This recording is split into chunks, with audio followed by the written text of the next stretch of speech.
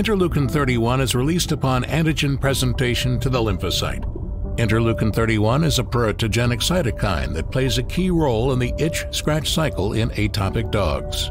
Interleukin 31 is released from T cells and binds to specific receptors on neuronal cell surfaces, which causes the activation of intracellular enzymes. This process triggers the generation of a nerve signal that travels to the brain and ultimately leads to the perception of itch, which results in pruritic behaviors.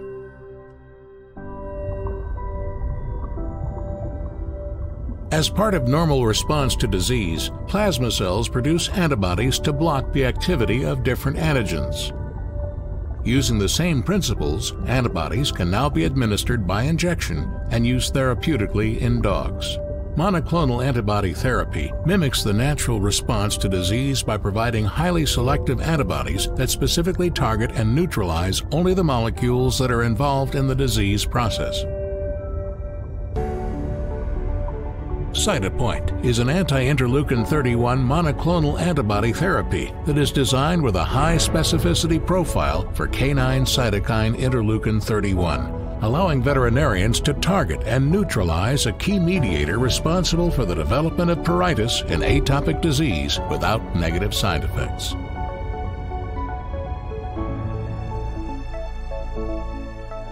Cytopoint provides sustained relief and control of the itch and inflammation associated with atopic dermatitis, regardless of a dog's age, concomitant medications, or comorbidities. With monthly injections, veterinarians restore the quality of life to atopic dogs long term and build a stronger ongoing relationship with their owners.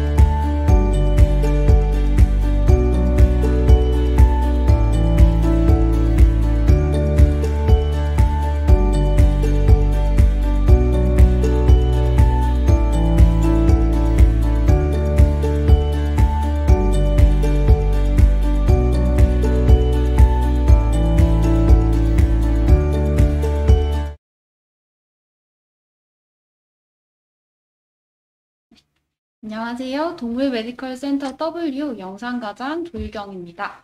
오늘은 케이스로 친해지는 방사선 판독법이라는 주제로 지난주에 이어서 흉부 이강을 시작을 하도록 할 텐데요. 우선 원래는 흉부 이강을 흉감, 종격동, 심혈관 폐를 구성을 해서 두 시간에 다 해보려는 욕심이 있었는데 아무래도 중요한 파트고 양이 많다 보니까 좀 분량 조절에 실패를 하여서 이번에는 심혈관을 위주로 해보고 그 다음에 그 다음 주에 어, 남은 흉강 종격도 회를 이어가 볼까 합니다. 자, 한 파트라도 이제 제대로 정보를 전달을 해, 해드리고자 하는 어, 마음이라서 양해를 좀 부탁드리겠습니다. 자, 우선은 어, 본 4개의 사진이 이번 세미나의 목표라고 할 수 있는데요. 음, 앞에 나와 있는 아, 요 앞에 나와 있는 이 네 사진만 판독하실 줄 아셔도 어, 일반적인 심장병 환자는 다 보실 수 있다고 해도 사실 과언이 아니에요. 그래서 어, 벌써 이제 각각의 사진을 보자마자 이제 진단명이 떠오르시는 분이 계시면은 이게 사실 요 강의는 조금 어, 안 들으셔도 될 것 같습니다. 네, 대신에 지금 막 사진을 봤는데 어, 떤 사진인지 잘 모르겠다 어, 라고 생각을 하신다면은 세미나를 끝까지 시청해 주시면 감사하겠습니다. 정답은 세미나를 제일 마지막에 이제 다시 말씀을 드리도록 하겠습니다. 어, 본격적으로 들어가기 앞서서 어, 심혈관계를 판독할 때 몇 가지 명심해야 되는 것들이 있습니다. 우선 방사선 사진 자체에서 뭔가 확정 진단을 내릴 수는 없고 원래 방사선 사진으로 스키, screening 수단으로 어, 이용을 해야 하는데 어, 많은 분들이 아 심장 방사선을 찍고 나면은 어, 이 질병이구나 아 대략적으로 유추뿐만이 아니라 확진까지 할 수 있다고 생각하시는 분들이 종종 계세요. 또 그 하지만 확진까지 내리려면은 반드시 심장 초음파를 봐야지만 확정 진단을 할 수 있다는 점 유의해 두시고요. 어 그리고 어, 방사선 사진에서 아마 처음 접하신 분들은 어 이게 자심실이 큰 건지 우심실이 큰 건지 아니면 자심방이 큰 건가 아니면 그런 미미한 변화들이 이제 처음에 공부를 하게 되면 눈에 들어오게 되는데 그런 미미한 변해, 변화들에 초점을 맞추다 보면은 이제 큰 그림을 놓칠 수가 있어요. 그래서 이 방사선 사진을 찍는 목적 자체가 어, 심장 을 청진을 했을 때 이제 우선 뭐뭐가 들리고 그 뭐뭐에 따라서 두드러진 변화가 있는지를 찾는 찾는 것이지 어, 여기가 지금 조금 더 자심실이 큰 것 같다 자심방이 큰 것 같다 그런 것에 너무 어, 어, 그 집착을 하지 않으시는 게 좋을 것 같습니다. 어, 그리고, 어, 강아지들 같은 경우에는 고양이는 조금 덜하긴 한데요. 강아지 같은 경우에는 정상 심장 형태의 범주가 굉장히 넓어요. 뭐, 예를 들어서 요크셔 테리어 같은 경우에는 좀 여러 개체에서 전혀 심장병이 없는 환자인데도 불구하고 어, 흉곽 자체가 좁은 아이들이기 때문에 어, 자심실이 커져 보이는 환자들이 종종 있고 그다음에 시추나 불독이나 이렇게 단두종 환자들 같은 경우에는 우심이 원래 조금 커서 어, 문제가 없는데도 우심이 조금 큰 아이들 같은 경우에는 아 우심에 뭔가 질병이 있나라고 의심을 해볼 수도 있어요. 그래서 하지만 그런 경우에는 심장 초음파를 보게 되면은 사실상 이제 잡음이 없는 경우에는 심장 질병이 없는 경우가 있, 기 때문에 그런 점도 유의하고 있으셔야 되겠습니다. 어, 그렇기 때문에 청진은 정말로 어, 많이 들어보셔야 하고 정말 청진이 정말 중요하다고 할 수 있습니다. 강아지 같은 경우에는 특히나 청진을 해보고 심장 초음파를 보면은 거의 다 대부분 질병이 있어요. 하지만 고양이 같은 경우에는 다들 이제 많이 들어보셨겠지만 HCM이라는 질병 같은 경우에는 잡음이 있는 경우도 있고 없는 경우도 있기 때문에 고양이는 조금 청진은 물론 들어야긴 하겠지만 청진이 안 들린다고 해서 심장병이 없는 것이 아니기 때문에 고양이는 그런 점을 좀 유의를 해주셔야 되겠고요. 어, 그리고 요 심장을 촬영을 했을 때 가장 좋은 것은 옛날과 비교해서 이제 뭐 오늘 심, 원래 심장병이 있던 환자가 나중에 다시 촬영을 했는데 심장이 커졌다. 그다음에 줄어들었다. 그런 평가를 하는데 주로 목적을 두고 있기 때문에 어, 비교를 하는데 굉장히 큰 어, 좋은 장점이 있습니다. 그래서 사실 만약에 어렸을 때 찍은 사진이 있다면 나중에 이제 뭐 10살, 11살쯤 됐을 때 심장병이 생겼으면 조그만한 변화가 있어도 옛날 사진이랑 비교를 하면서 아, 어, 요런 미미한 변화가 생겼네 라는 거를 조금 빨리 알아차릴 수가 있습니다. 어, 우선 다음, 요런 다음 사항들을 명심을 하고 시작을 해보도록 하겠습니다. 어, 이번 어, 강의에서는 요 아홉 가지 해부학적 구조물들을 방사선에서 구분을 하실 줄 아셔야 되고, 그런 방사선 사진에서 어떻게 이제 변화가 생기는지를 어, 아시면은 될 것 같습니다. 우선 방사선 상에서 이러한 구조물들을 어, 구분을 하실 수만 있으면은 그 다음은 어, 어, 평가하기가 조금은 수월해요. 이제 커졌 보통 작아지는 질병은 거의 없기 때문에 커졌다를 주로 보시면 되기 때문에 어, 요 방사선에서 이러한 해부학적 구조물들이 보이고 그다음에 어, 조금 정상이랑 다르다라는 거를 어, 좀 캐치를 해주셨으면 좋겠습니다. 어, 앞서 보았던 그런 챔버나 혈관들을 저희 크게 좀 두 부류로 나눠서 설명을 드릴 텐데요. 어, 우선 전신순환과 그다음 폐순환입니다. 전신순환은 익히 알고 있듯이 자심에서 시작하여서 자심방에서 시작하여서 그다음에 자심실로 이동한 다음 그다음에 대동맥 그다음에 전신 전신 장기에 이제 혈관을 공급하는 시 어, 서큘레이션입니다. 그래서 마지막에는 그 어, 인체에서 산소를 산소가 풍부한 동맥혈을 공급을 하고 그 다음에 체내에서 대사가 되어 나온 이산화탄소를 이제 다시 혈액에서 모아서 CVC나 아니면 cranial vena cava로 어, 모아와서 이제 우심방으로 들어가게 되는 그 직전까지의 순환을 전신 순환이라고 할 수 있겠습니다. 그래서 뭐 그 한 가지 복습을 하자면은 뭐 당연히 여기 LA에서 LV로 넘어가는 사이에 이첨판이라고 하는 mitral valve가 위치하게 되고 그다음에 요 LV와 대동맥 사이에 어, 에이얼트 밸브가 위치하게 돼서 어, 심장의 혈류가 앞으로만 갈 수 있게 뒤로 못 가게 막아주는 역할을 하게 됩니다. 그래서 오른쪽 그림에서 보시게 되면 이쪽 지금 좌측의 자신방, 자신방이 지금 어, 폐 정맥에서 동맥혈을 공급을 받아서 좌심실을 통해서 그다음에 대동맥 판막을 지나고 그다음에 대동맥을 지나서 인체를 인체로 지나갔다가 산소를 공급하고 이제 이산화탄소를 가져와서 폐로 전달을 하는 요 경로, 경로가 지금 전신 순환이 되겠죠. 그리고 폐순환은 이러한 이산화탄소를 다시 동맥혈 동맥혈로 바꾸려면은 폐로 폐를 거쳐야 되는데 그 순환이라고 할 수 있습니다. 어, 지금 후대정맥과 뭐 전대정맥에서 모아온 정맥혈을 우심방으로 들, 어, 우심방으로 이동을 시키고, 근데 그 우심방에서 여기 tricuspid valve를 걸쳐서 우심실로 이동을 하게 되고, 그 다음에 폐동맥 판막을 거쳐서 폐동맥, 그리고, 어, 폐, 네, 포, 폐포까지 이제 전달을 하게 됩니다. 그러면 폐포에서 이산화탄소를 가져가고 산소를 다시 교체를 시켜서 어, 신선한 동맥혈로 어, 바꾼 다음 좌심방으로 이동하게 되는 이 순환을 폐순환이라고 할 수 있습니다. 우선 그 방사선 설명을 할 때, 어, 뭐, LALV, 뭐, RARV 이런 식으로 설명을 할 수도 있겠지만, 저는 이번에는 그 전신순환과 폐순환을 나눠서, 그러니까 전신순환을 쉽게 생각해서 그냥 자심계라고 생각을 해주시면 편할 것 같고, 어, 폐순환을 쉽게 말해서 우심계로 생각을 해주시고, 이제 천천히 따라와 주시면 되겠습니다. 우선 systemic circulation에서 주로 볼 것은 좌심실, 좌심방, 대동맥입니다. 우선 이게 흉부 정상 강아지의 어, 흉부 방사선 사진입니다. 어, 아마 우측 상단에 보이시는 이런 clock method를 이제 학부생 때나 아니면 다른 세미나에서도 아마 종종 들으셨을 수도 있어요. 근데 사실 제가 저도 처음 공부를 할 때 느꼈던 거지만 요렇게 clock method를 외우는 거는 단순화해서 좋기는 한데 굉장히 잘 까먹어요. 뭐, 어, 몇 시부터 몇 시까지였더라? 2시부터 3시까지가, 아, 뭐였지? 하면서 굉장히 잘 까먹는다는 단점이 있기 때문에, 요 방법은 지금 오늘은 강의에서는 하지는 않을 거고요. 대신에 좀 더 굉장히 세밀하게, 어, 해부학적으로, 어, 이 혈관이 지나다니는 길을 미리 파악을 해서, 만약에 이 혈관이 커지면, 아, 이런 식으로 보일 수 있겠구나. 라는 거를 해부학적으로, 어, 잘 이해를 해보는 시간을 갖도록 하겠습니다.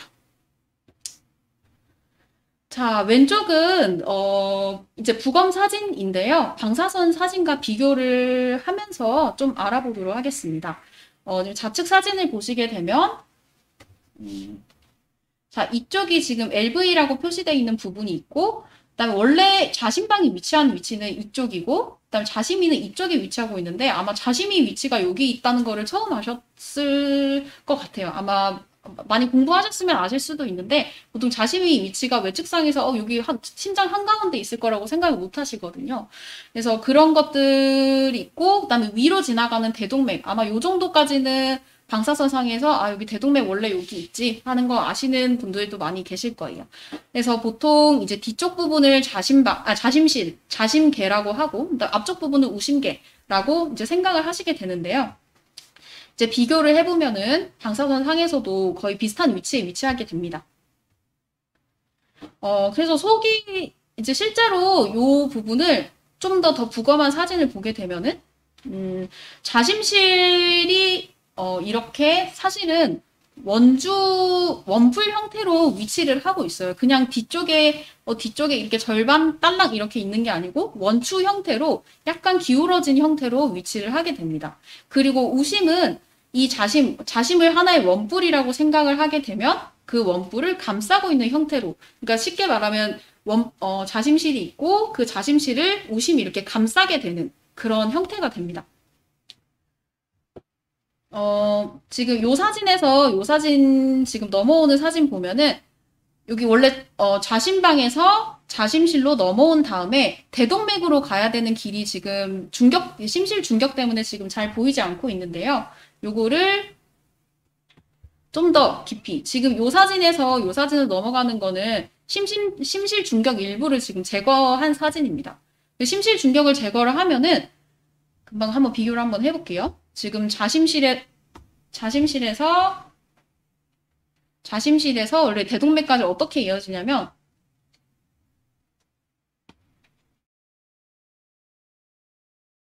네, 자심실에서 지금 심실 중격을 제거를 하고 나니 이런 식으로 혈액이 이동하게 됩니다. 그러면 여기가 지금 자심실이고 여기가 대동맥 판막이 되겠고 여기가 지금 대동맥 아치 그 다음에 여기가 디센딩 에어울타가 되겠죠.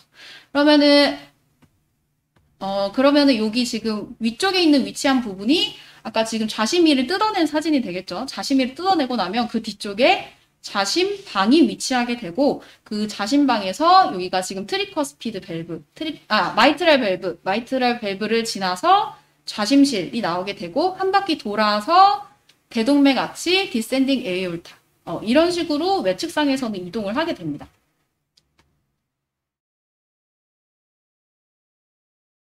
자, 그 사진이 어, 그것을 지금 앞에서 본 사진이라고 한번 생각을 해볼 텐데요. 지금 뒤쪽 아래쪽에 있던 자심 원래 뒤쪽 아래쪽에 이런 식으로 자심실이 위치를 했는데 VD 사진에서는 지금 우리가 이쪽 방향에서 보게 되는 거죠. 이쪽 방향에서 보게 되는 거고 원주를 감싸고 있는 우심실을 상상을 해보면서 어, VD 쪽 VD를 찍었다고 가정을 한번 해볼게요.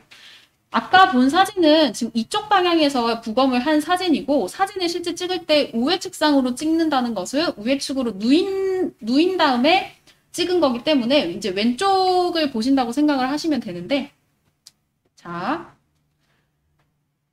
조금 상상이 가시나요?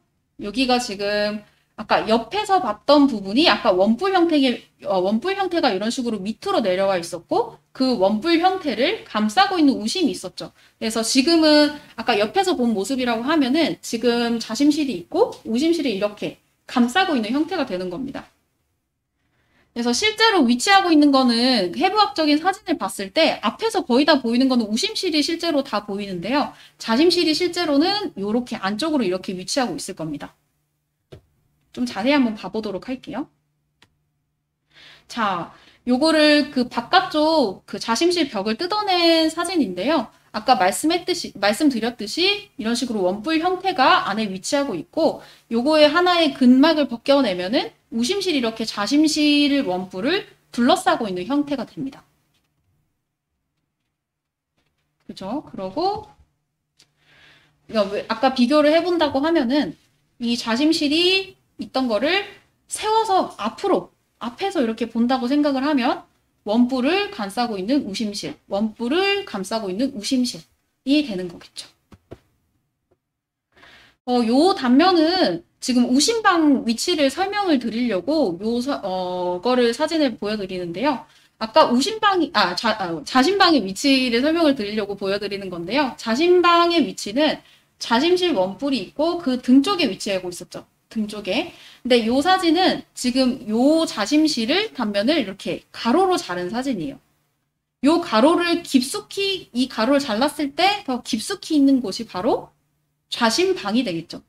그리고 금방 보셨는지 모르겠는데 여기 살짝 좌심실 있고 옆에 살짝 이렇게 튀어나와 있는 부분이 좌심이에요. 좌심이가 왜 여기 있는지 이해가 가시나요? 좌심이가 아까 어디 있었죠? 여기 붙어 있었죠, 여기. 지금 근데 이거를 이 방향에서 지금 보고 있는 거죠. 그러면 아까 여기 있었던 게 여기 왼쪽 옆에 이렇게 달려 있는 거예요.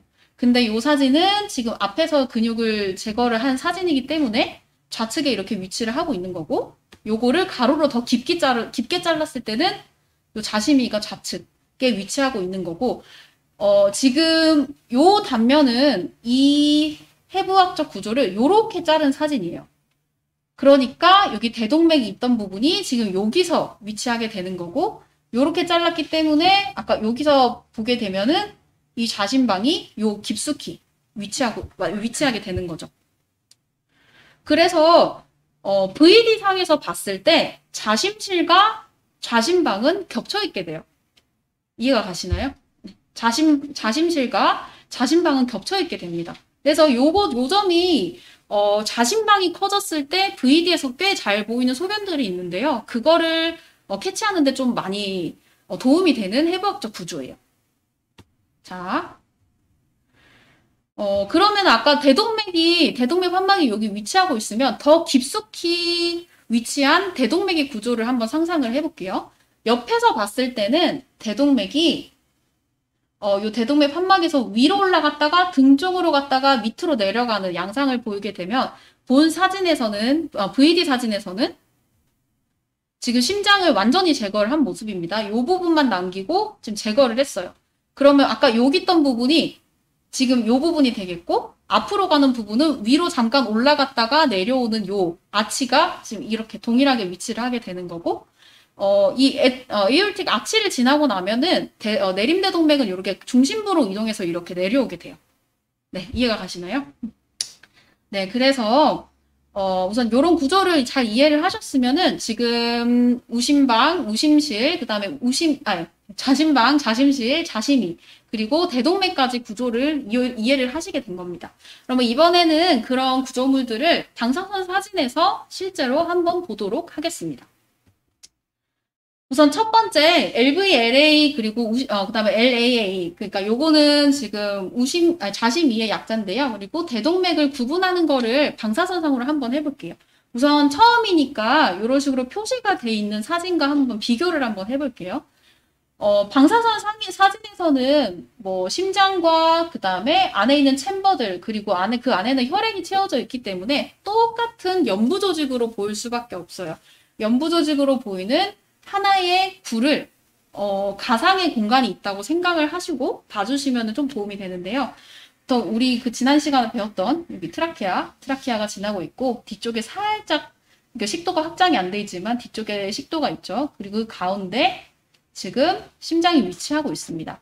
우선 자심은 어, 아까 원볼 형태 이렇게 위쪽에 위치하고 있었고 그 다음에 그 등 쪽으로 자심방이 위치하고 있었고 그 다음에 그 앞쪽으로 그 좌심이가 이렇게 위치하고 있었죠. 그리고 대동맥 아치는 원래는 우리가 방사선상에서 보이는 대동맥은 아 요쯤이구나 라는 거는 알고 계셨을 텐데요. 대동맥 어, 아치 같은 경우, 에올틱 아치 같은 경우에는 아 그러면 이렇게 해서 자심실 중심으로 이렇게 들어오는 것까지 아 자심실이 위치하고 있겠구나라고 예측을 해주시면 좋을 것 같습니다. 자, 요거를 똑같이 VD에서 한번 봐보도록 할게요. 바, VD에서 아까 그 해부학적 구조 한번 생각을 해보시고, 자심실 같은 경우에는 여기 원뿔형으로 이렇게 위치하고 있다고 말씀을 드렸죠. 그리고 깊숙이, 이거보다 자심실보다 더 깊숙이 자심방이 위치하고 있어요. 자심방이 위치를 하고 있어서 자심실과, 자심실과 자심방은 똑같은, VD상에서는 똑같은 선상에 있어요. 그, 그거를 이해를 하고 계셔야 돼요. 그리고 어 아까 좌심 2는 어디 있었죠? 좌측 여기 옆쪽에 있었죠. 이게 실제 구조는 아까 자심방 아이고 자심방이 이렇게 자심방이 있고 자심위가 따로 있는 것처럼 보였는데 실제로 연결돼 있어요. 연결된 구조라서 이런 식으로 위치하게 되고 좌측 방사선 사진에서 보게 되면 좌심방 같은 경우에는 이쯤 위치하고 좌심이는 이렇게 연결돼서 좌측 이쯤에 위치를 해야 되는데 보통 정상인 환자들 같은 경우에는 잘 보이지 않아요. 근데 만약에 뭐 방사선 사진을 찍었는데 살짝 돌아가서 찍혔다라고 하면은 자심이가 보일 때도 있는데 보통은 보이지 않습니다. 그래서 좀 쉽게 하는 방법은 자심방 위치를 어떻게 기억하시면 좋냐면 그 트라키아의 카리나 그 좌측 우측 분지되는 그 카리나 지점을 먼저 잡아요. 어, 트라케에서 내려오는 곳에서 우측, 좌측 갈라지는 분지의 그 가운데 지점을 카리나라고 하는데요. 그 카리나 지점, 지점 바로 뒤쪽에 자신방이 있다고 생각을 하시면 좀 편합니다. 그래서 아 카리나가 있는 쪽 바로 아래쪽이 자신방이구나. 그러면 그 자신방과 좌측으로 이어지는 쪽이 자심이가 있겠구나라고 추측을 해주시면 되겠습니다. 아, 우선 이렇게까지 하면은 어, 자심실이 방사선상에서 어떻게 보이는지 에 대해서는 좀 설명을 드렸고요. 그러면 이런 자심실이나 자심방이 변화가 생기면 어떻게 어떤 변화를 보이느냐라는 거를 어, 좀 설명을 드리기 위한 모식도를 가져와 봤습니다. 우선 lateral view에서 좌심실이 커졌을 때 가장 흔하게 볼 수 있는 거는 tall cardia sign입니다. 이제 뭐 보통 sign을 이름을, 이름을 붙이면 거창하긴 한데 어쨌든 뭐 소견서를 쓰실 거는 아니니까 이거 심장의 키가 커진다, tall cardia가 생긴다 라고 이해를 해주시면 되고 어, 원래 여기 좌심실이라는 것 자체가 원뿔형으로 되어 있는데 그 안에 내강이 넓어지게 되면은 어, 앞뒤로도 커질 수 있겠지만 주로 위로 많이 커지게 됩니다. 그래서 그 tall cardia sign이 보이게 되고 그 톨카디아로 인해서 요 카리나 수준의 어, 카리나 수준을 자심실이 들어 올리면서 트라케아가 전반적으로 거상되는 모습을 확인을 할 수가 있습니다.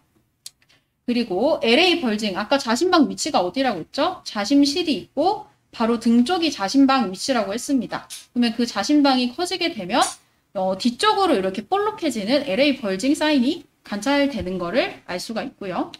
그다음에 그거랑 똑같이 VD에서 보, 아, 보셨을 때 톨카디아가 되는 만큼 VD에서 촬영하게 되면 이렇게 서 있던 심장이 이렇게 등으로 누우면은 살짝 눕겠죠? 그럼 이게 길어진 심장이 마찬가지로 VD에서 찍게 되면은 심장 자체가 길어지게 됩니다. 그래서 심장이 이롱게이션 되는 소견을 보이게 되고 주로 자심이 위치한 곳은 어, 약간 좌측에 치우쳐져 있기 때문에 좌측으로 좀 더 튀어나온 모습을 볼 수도 있고 아니면 그냥 심장 자체가 위아래로 그냥 길쭉하게 길어진 소견도 자심실 비대 소견이라고 할 수 있습니다. 어, 그리고 이 금방은 지금 자심실을 주로 말씀을 드렸는데요. VD에서 정말 어, 자심방이 커져 있는, 그러니까 어, 심원성 폐수종의 발생 위험이 높은 환자들 같은 경우에 주로 자신방이 커지게 되는데요. 그 자신방 지역의 밀도가 증가하게 되는 것도 자신 비대 소견입니다.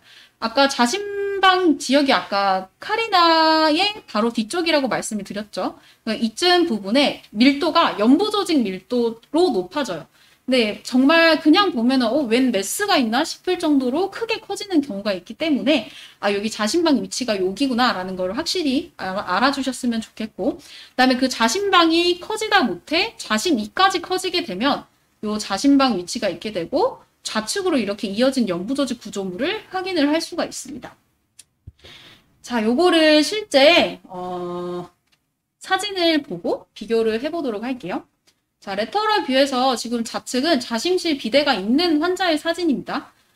지금 보셨을 때 원래 정상 사진과 비교를 해보면 좋겠지만 지금 트라키아 자체가 어, 원래는 척추체와 조금 멀어지면서 떨어져야 되는데 거의 평행하게 주행하는 모습을 확인을 할 수가 있고요.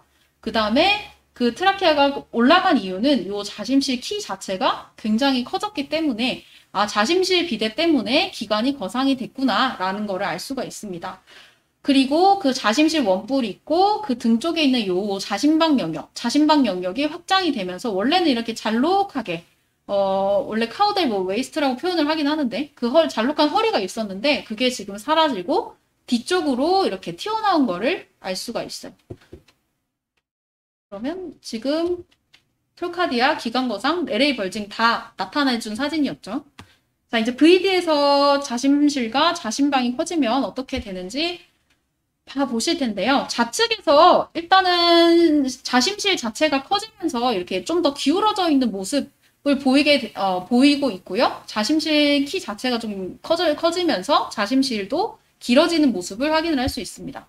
그리고 지금 여기 뭔가 음영이 뭐 볼록볼록하게 이상한데 이게 뭐냐면 지금 트라키아가 이렇게 내려오고 있고요. 트라키아 바로 뒤쪽 영역에 이게 볼록하게 튀어나와 있는 영역 있죠. 여기가 지금 아까 앞에서 계속 눈을 말씀드렸던 LA 리전입니다. 그러니까 자신방이 있는 곳이에요. 그 자신방이 있는 곳이 아까 앞에서는 음, 정상 사진 한번 비교해보면 앞에서는 지금 거의 안 보이죠. 자신방. 원래는 안 보여야 이게 정상이에요. 근데 자신방이 정말 커지게 되면은 이런 식으로 볼록하게 뭔가 튀어나온 것처럼 메스처럼 보일 수, 보이게 돼요. 그리고 그 자신방과 이어진 자심이도 이런 식으로 튀어나온 형상을 볼, 어, 볼 수 있게 됩니다. 그 조금 더, 좀 더 심한 환자를, 어, 환자 사진을 좀 가져와 봤는데요. 지금 여기서도 마찬가지로 트라케아 이렇게 지나고, 오른쪽, 왼쪽 가지 있고, 요 가운데 부분, 용, 어, 카리나 부분인데, 그 뒤쪽으로 좀 커다랗게 뭔가 덩어리 같은 것이 지금 생겨 있죠. 지금 보면은 사람이 인지할 때 그냥 어 여기 뭔가 심장 아래쪽에 뭔가 덩어리가 있네라고 생각을 하실 수 있는데요. 이건 그게 아니고 좌심실이 있고 그 등 쪽에 위치한 좌심방이 커지면서 이런 식으로 메스 형상으로 나타날 수도 있다. 그리고 실제로 이 환자는 지금 폐수종이 있는 상태, 아, 상태죠. 여기 폐 밀도가 지금 증가돼 있는. 자, 그러면 이제 자심방, 자심실 비대 소견을 말씀을 드렸고, 그 다음에 자심방, 그 다음에 자심실을 통해서 나간 혈액이 나가는 대동맥이 커지면, 어, 어떻게 되냐 는 거를 말씀을 드릴 텐데요. 원래는 그 대동맥 아치가, 그러니까 에올틱 아치가 어, 심장의 크레니어 보도를 보통은 잘 넘어가지 않아요. 가끔 넘어가 있는, 그 아무런 이유 없이 넘어가 있는 환자들도 있는데요. 보통은 넘어가지 않고 좌심 우심방 아 우심실 라인과 거의 일직선으로 떨어지거나 아니면은 caudal waist가 있듯이 cranial waist가 있는 게 정상이에요. 그런데 왼쪽 사진을 한번 보게 되면 좌심방 좌심실이 있는 영역에서 대동맥 아치를 지나서 가야 되는데 여기가 뭐 앞쪽으로 굉장히 뭔가 튀어나와 있는 형상을 볼 수가 있죠. 이게 바로 외측상에서 대동맥이 bulging이 되거나 확장, 아, 확장이 되면은 대동맥이 bulging이 되면서 앞쪽으로 이렇게 튀어나가는 모습을 확인을 할 수가 있어. 아, 확인을 할 수가 있고요. 이게 우리가 그 요 클락 메소드로 그렇게 외웠던 뭐 9시, 11시 막 몇 시인지 저는 잘 모르겠어요. 9시, 11시인가? 하여튼 그런 식으로 외웠던 그 부분이 사실은 요런 이유 때문입니다. 자, 요 대동맥 확장이 된 것을 VD에서 또 한번 확인을 해볼게요. VD에서 보게 되면은 어, 요 아까 모식도를 먼저 볼게요. 원뿔이 있고 그 아래쪽 동일정산의 자신방이 있고 그 다음에 그 대동맥 아치를 지나서 이렇게 돌아서 살짝 좌측으로 튀어나간 다음에 정중으로 떨어지는 모습이어야 하는데 대동맥이 커지게 되면은 어, 첫 번째로는 우리 대동맥 아치 있는 지역을 11시, 1시 지역이라고 하는데 그쪽 부분에 뭔가 메스처럼 튀어나오거나 어, 아니면 이미 외측상에서 어 여기 대동맥이 좀 이상하다라고 생각을 하고 VD 사진을 볼 거예요. 그 VD 사진 봤, 어, 봤을 때 똑같이 대동맥 위치에서 결증이 돼 있다라고 하면은 이게 대동맥 확장의 소견입니다. 그래서 대동맥 확장 같은 경우에는 전종격동 자체, 여기가 저, 전종격동이라고 하는데 그 전종격동 자체가 넓어지는 거를 볼 수가 있어요. 그래서 아무런 어, 비만하지도 않고 뭐 아무렇지도 않은데 어, 전정격동이 왜 이렇게 크지 하면은 어, 실상 외측상에서 다시 한번 확인을 해보면 대동맥이 이렇게 커져 있는 거를 보실 수도 있어요. 자, 이때까지 방사선 상에서 어, 각각의 전신 순환계의 각각의 챔버나 대형 혈관들이 어떻게 보이는지 그리고 그게 만약 커진다면 어떻게 보이는지에 대해서 좀 설명을 드렸습니다. 어, 그것까지 설명을 드리고 이제 그러한 것들, 그러니까 자심실 비대나 자심방 비대, 그 다음에 뭐 대동맥 별징을 일으키는 원인에 대해서 한번 알아보도록 하겠습니다. 우선 심비대, 심장을 커지게 하는 원인들은 제 나름대로 어, 좀 나눠봤는데요. 이제 밸브 인서피션시, 그러니까 판막에 문제가 생기다, 생긴다든지 아니면은 압력이 걸려 있다든지 요거 어디 압력인지는 뒤에 가서 말씀을 드릴게요. 그다음 심근에 문제가 있던지 아니면 션트가 생기던지 요거 네 개 말고는 심장이 비대되는 원인이 잘 없어요. 여기 네 개의 범주 안에 다 들어갈 수 있습니다.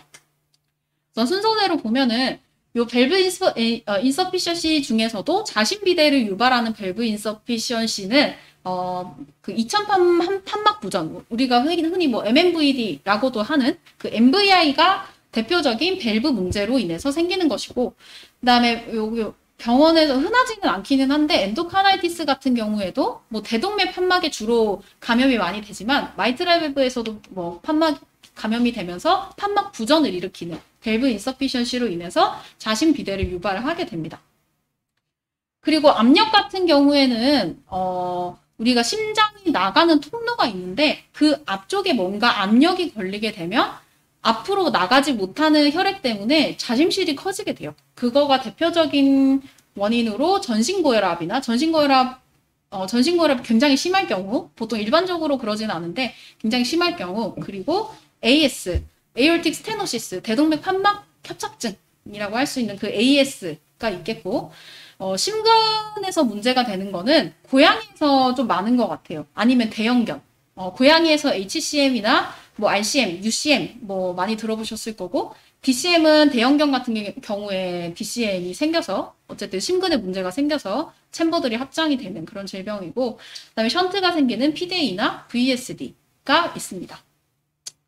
여기 지금 자신비대인데 지금 션트 중에 PDA, VSD가 나와 있는데요. 이제 일반적으로 저도 처음에 생각을 할 때 어, 션트 방향은 보통 자심이 압력이 높고 우심이 압력이 낮으니까 자심에서 우심으로 이동을 하게 될 거고 어, 그러면은 우심이 커져야 되는데 왜 자심 비대에 여기 들어가 있을까라고 생각을 하실 수도 있는데 이게 그게 L2R이라고 해도 커지는 부위가 조금 달라요. 그거를 뒤에서 좀 자세히 설명을 드리겠습니다. 어, 요거 굉장히 오래된 논문에서 따온 그림인데 좀 이해하기 편한 것 같아서 제가 좀 써보려고 합니다. 우선 첫 번째 한번 순서대로 한번 다 보도록 할게요. valve insufficiency를 유발하는 MVI나 endocarditis 그러니까 AR을 유발 AR이나 MR을 유발을 하는 endocarditis들은 어 이첨판은 여기 지금 요거 그림을 이해를 하셔야 하는데 좀 간편하게 나타내 아, 나타낸 모식도예요. 여기가 좌심방, 그 다음에 mitral valve 위치를 그려놨고, 그 다음에 좌심실, 그 다음에 aorta 지나서 전체 전신으로 돌아가고 여기 산소 주고 이산화탄소 받아서 우심방으로 받고 tricuspid valve 지나서 우심실 지나고 pulmonary artery 지나고 폐에서 깨끗한 피로 아 동맥혈로 바꿔서 다시 좌심방으로 들어오는 그래서 여기가 지금 어, 주폐동맥을 나타낸 거고 여기 혈관들이 지금 폐동맥 그러니까 실질 폐동맥 그 다음에 여기가 실질 폐정맥이 되겠습니다. 그래서 요 valve insufficiency가 문제가 되는 요 mitral valve는 좌심방과 좌심실 사이에 위치하고 있고 혈액 방향은 지금 시계 방향으로 이렇게 돌아야 하는데 앞으로 나가야 되는 혈관을 막아주는 것이 mitral valve인데 이것이 지금 고장 나게 되면 앞으로 갈 혈액들이 지금 좌심방에 계속 고이게 되겠죠. 좌심방에 고이게 되면서 좌심방 비대를 유발을 할 거고 그 좌심방에서 그 overload가 걸린다고 하죠. 흔히 volume overload가 걸린다고 하는데 그 볼륨 커진 볼륨들이 그대로 좌심실로 이동을 하게 되면 좌심실 비대도 유발을 하게 됩니다. 그래서 마이트랄 밸브 인서피셔시가 있는 환자들 같은 경우에는 주로 좌심방과 좌심실 비대를 유발을 하게 되죠. 근데 이, 이 비대가 되다가 되다가 되다가 안 될 경우에는 그 압력이 어디에 걸리기 시작하면은 폐동맥 지나서 폐정맥, 요 폐정맥에 걸리기 시작을 하게 되고 요 나머지는 지금 알베올라 허파 까리들이 둘러싸고 있게 되는데 그 정맥에서 세, 압력을 견디다 못해서 새어나온 액체들이 이제 저류가 되게 되면은 cardiogenic pulmonary edema가 되는 거죠.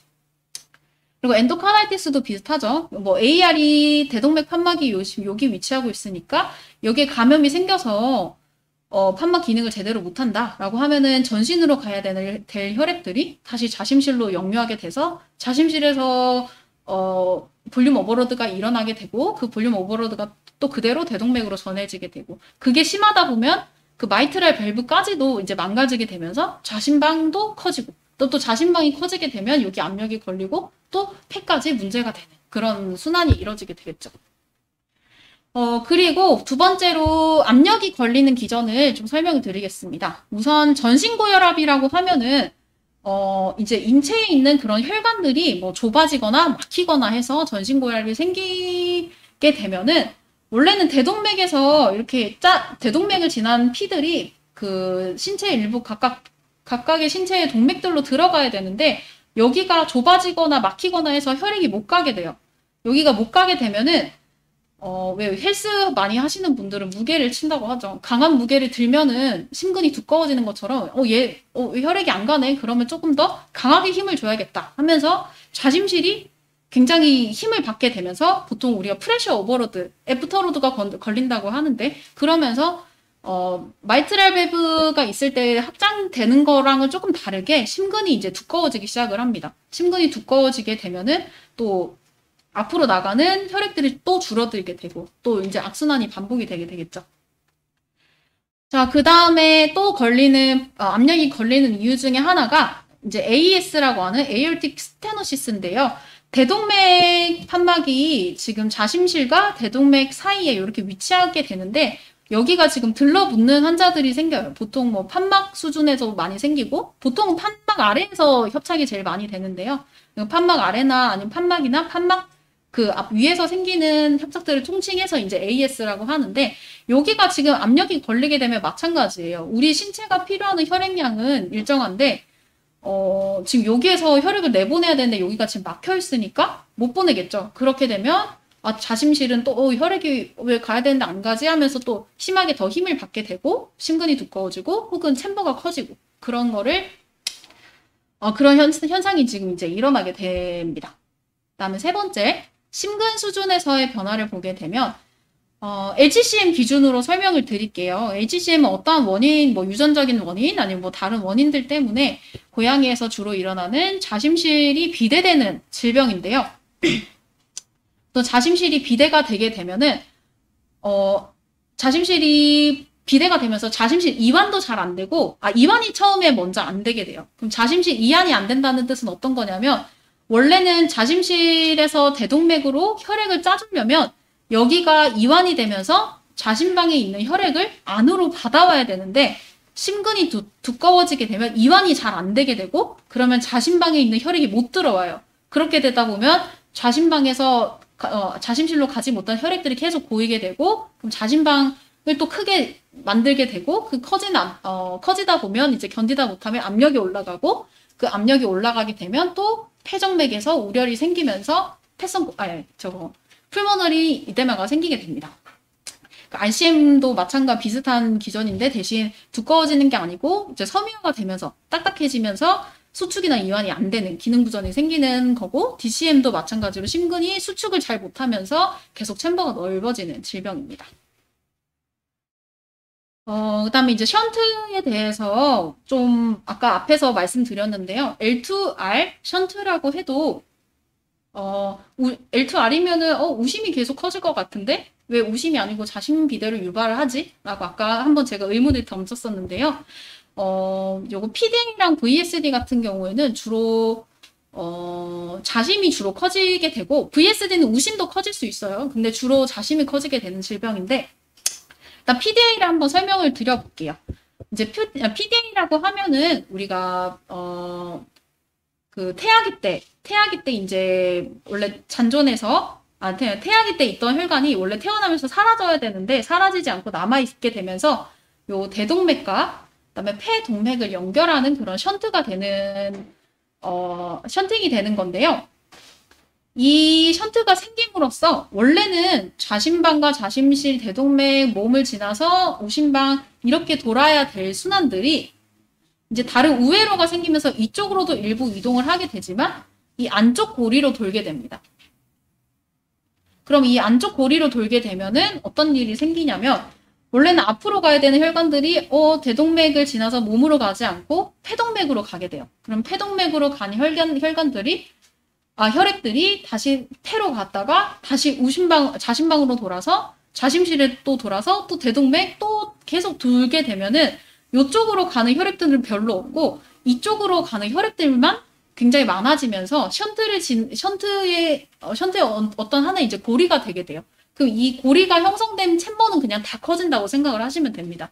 우선 대동맥, 주로 대동맥 많이 커지고요. 그 다음에 션트 있고, 그 다음에 폐동맥, 주폐동맥이 저, 정말 많이 커지게 돼요. 주폐동맥. 그 다음에 여기도 지금 폐, 실질 폐동맥이라고 아까 말씀을 드렸죠. 실질 폐동맥, 그 다음에 여기 실질 폐정맥, 그 다음에 좌심방, 그 다음에 좌심실. 요 지금 네, 어, 두 개의 챔버와 두 개의 큰 혈관과 그 다음에 실제 폐동맥, 폐정맥이 전부 다 커지게 됩니다.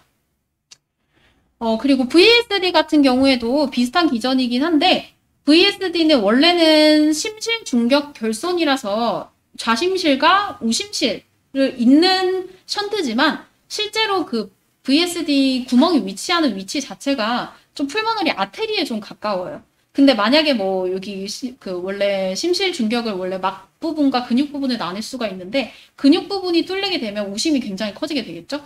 근데 하지만 여기 위쪽 부분 뿌리 쪽에 어, 결손이 생기게 되면은 어, 자, 우심으로 거의 들어가지 않고 바로 폐동맥으로 들어가게 되면서 우심실보다는 폐동맥, 그 다음에 좌심방, 그 다음에 좌심실이 커지게 됩니다. 물론 션트가 크면은 그런 것 없이 지금 좌심실도 커지고 우심실도 커지고 뭐 폐동맥, 폐정맥 뭐 다 커지게 돼요.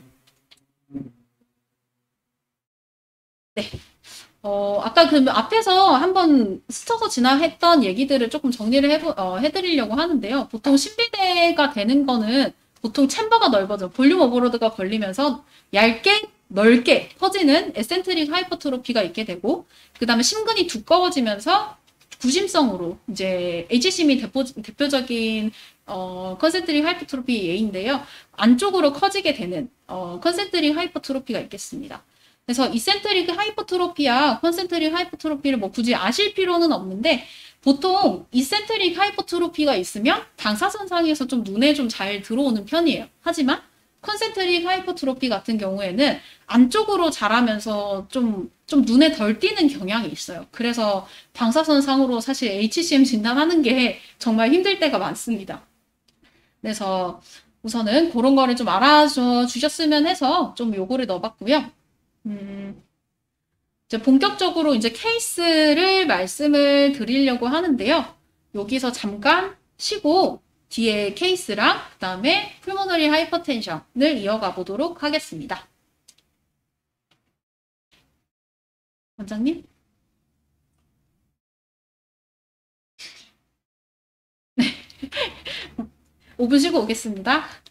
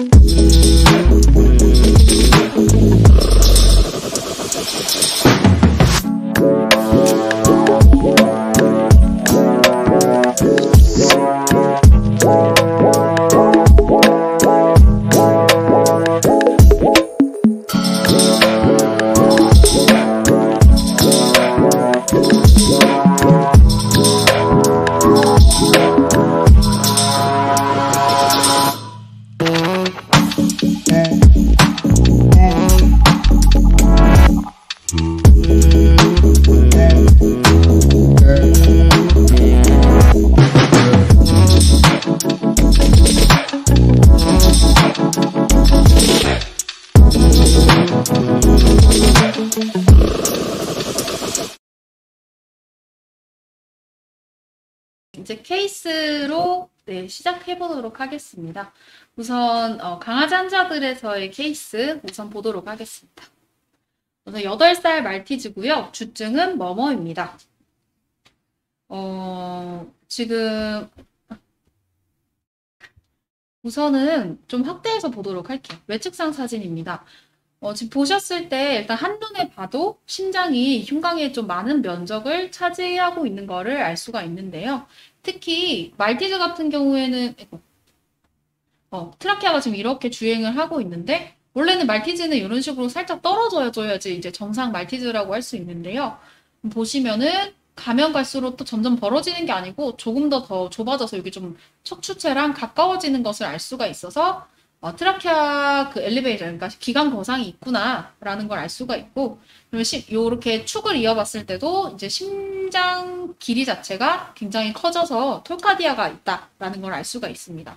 그래서 자심실 위치가 대략 이쯤이면 자심방이 이쯤에 위치하고 있다고 하면은 뒤쪽으로 이렇게 튀어나와 있는 부분이 아 자심방까지 커진 걸 알 수가 있습니다. 음? 네, 자신방 금방 그 환자 사진에서 VD 사진인데요. VD 사진에서도 원래 어, 제가 아까 앞서서 말씀을 드렸었는데 자심실이 커질 때 뭐 왼쪽으로도 커질 수 있지만 보통 이런 식으로 중심으로 길어지는 형상을 띠는 환자들도 많이 있어요. 그래서 이제 키 자체가 굉장히 커졌다라는 걸 알 수가 있고 그다음에 지금 뭔가 심장 주변 어, 중앙에 지금 뭔가 메시브한 것들이 보이죠. 여기 트라키아가 있고 지금 카리나가 여기 있고 요 뒤쪽 부분이 지금 어, 있는 거를 봐서 여기가 지금 자신방 자신방 있는 곳에서 밀도가 좀 증가되면서 마치 커지면서 메스처럼 보이게 되는 그런 형상이고 어, 그 자신방이 이어진 자심 2까지도 지금 볼록하게 튀어나와 있는 걸 알 수가 있습니다. 요거를 제가 심장 초음파를 본 거를 좀 붙여봤는데요. 실제로 심장 초음파를 보면은 요 view에서 보통 우리가 LAAO ratio를 많이 재는 view예요. 그 view에서 봤을 때 요 가운데 있는 부분이 지금 대동맥 판막이 되고 이게 실제로 좌심방인데 원래는 좌심방이 커지는 환자들 중에서 좌심이가 안 커지면은 그냥 이렇게 둥그렇게 보이게 되는데 좌심이까지 커지면서 좌측으로 튀어나와 아, 좌측으로 튀어나오게 됩니다. 그게 방사선으로 보면은 이런 식으로 하나의 큰 덩어리가 된 걸로 알 수가 있죠. 그래서 이 환자는 MVI로 진단한 환자입니다. 네. 두 번째 닥스훈트 12살 머머가 있고 어, 고혈압, 전신 고혈압이 있는 환자였습니다. 어, 봤을 때 지금 트라키아가 좀 거의 등 쪽으로 붙으면서 일단 톨카디아가 조금 생긴 걸 알 수가 있고 특히 어, 이 환자 같은 경우는 고혈압이 있다고 전신 고혈압이 있다고 말씀을 드렸죠. 그래서 크레니얼 보더 앞쪽으로 이렇게 뭔가 이렇게 튀어나와 있는 거를 볼 수가 있고 그거를 지금 VD에서 확인을 하게 되면 아까 어, 한번 그려볼게요. 여기 자심실이 있고 어, 자심실에서 원래 어, 대동맥 판막을 지나서 대동맥 악실이 지나서 이렇게 나가는 길 따라서 있으면 보통은 요 대동맥 아치 부분이 크, 어, 그 심장 바깥쪽으로 변연으로 튀어나가지 않거든요. 근데 지금 봤을 때 좀 더 돌출돼 있고 외측상에서도 봤을 때도 에어텍 아치가 앞으로 돌출된 걸로 봐서 어쨌든 대동맥이 조금 벌징이 돼 있구나라는 거를 보여주는 환자입니다. 지금 다른 닥스훈트 환자들이랑 조금 비교를 해봤는데요. 지금 정상인 닥스훈트입니다. 보셨을 때 여기 앞쪽에 지금 없죠? 원래 여기 지금 금방 환자에서 설명드릴 때는 앞으로 이렇게 튀어나간 부분이 있었는데 원래 크레니얼 보드가 이렇게 살짝 움푹 들어가야 정상이고 지금 대동맥 아치가 여기 보이시는지 모르겠는데 이렇게 지금 진행을 하고 있습니다. 원래는 이렇게 돼야 정상이지만 여기가 지금 에어틱 아치 부분이 커지면서 앞으로 튀어나가는 양상을 보이고 있습니다. 마찬가지로 VD에서도 뭐 살짝 튀어나갈 수는 있는데 거의 뭐 어, 지금 벌징이 안 된 환자인데요.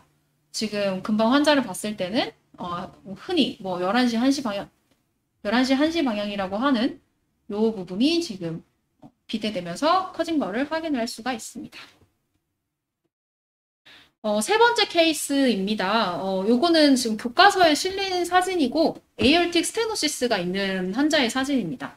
어, 마찬가지로 앞에서 보셨을 때보다 좀 더 이제 두드러지는 사진이라서 제가 넣어봤는데 이런 식으로 크레니어 보더 앞쪽으로 이렇게 굉장히 돌출된 거를 볼 수가 있고 VD에서도 전종격전 자체가 넓어지면서 봤더니 자시, 어, 대동맥 궁, 어, 에올틱 아치 자체가 이렇게 확장된 거를 확인할 수 있습니다.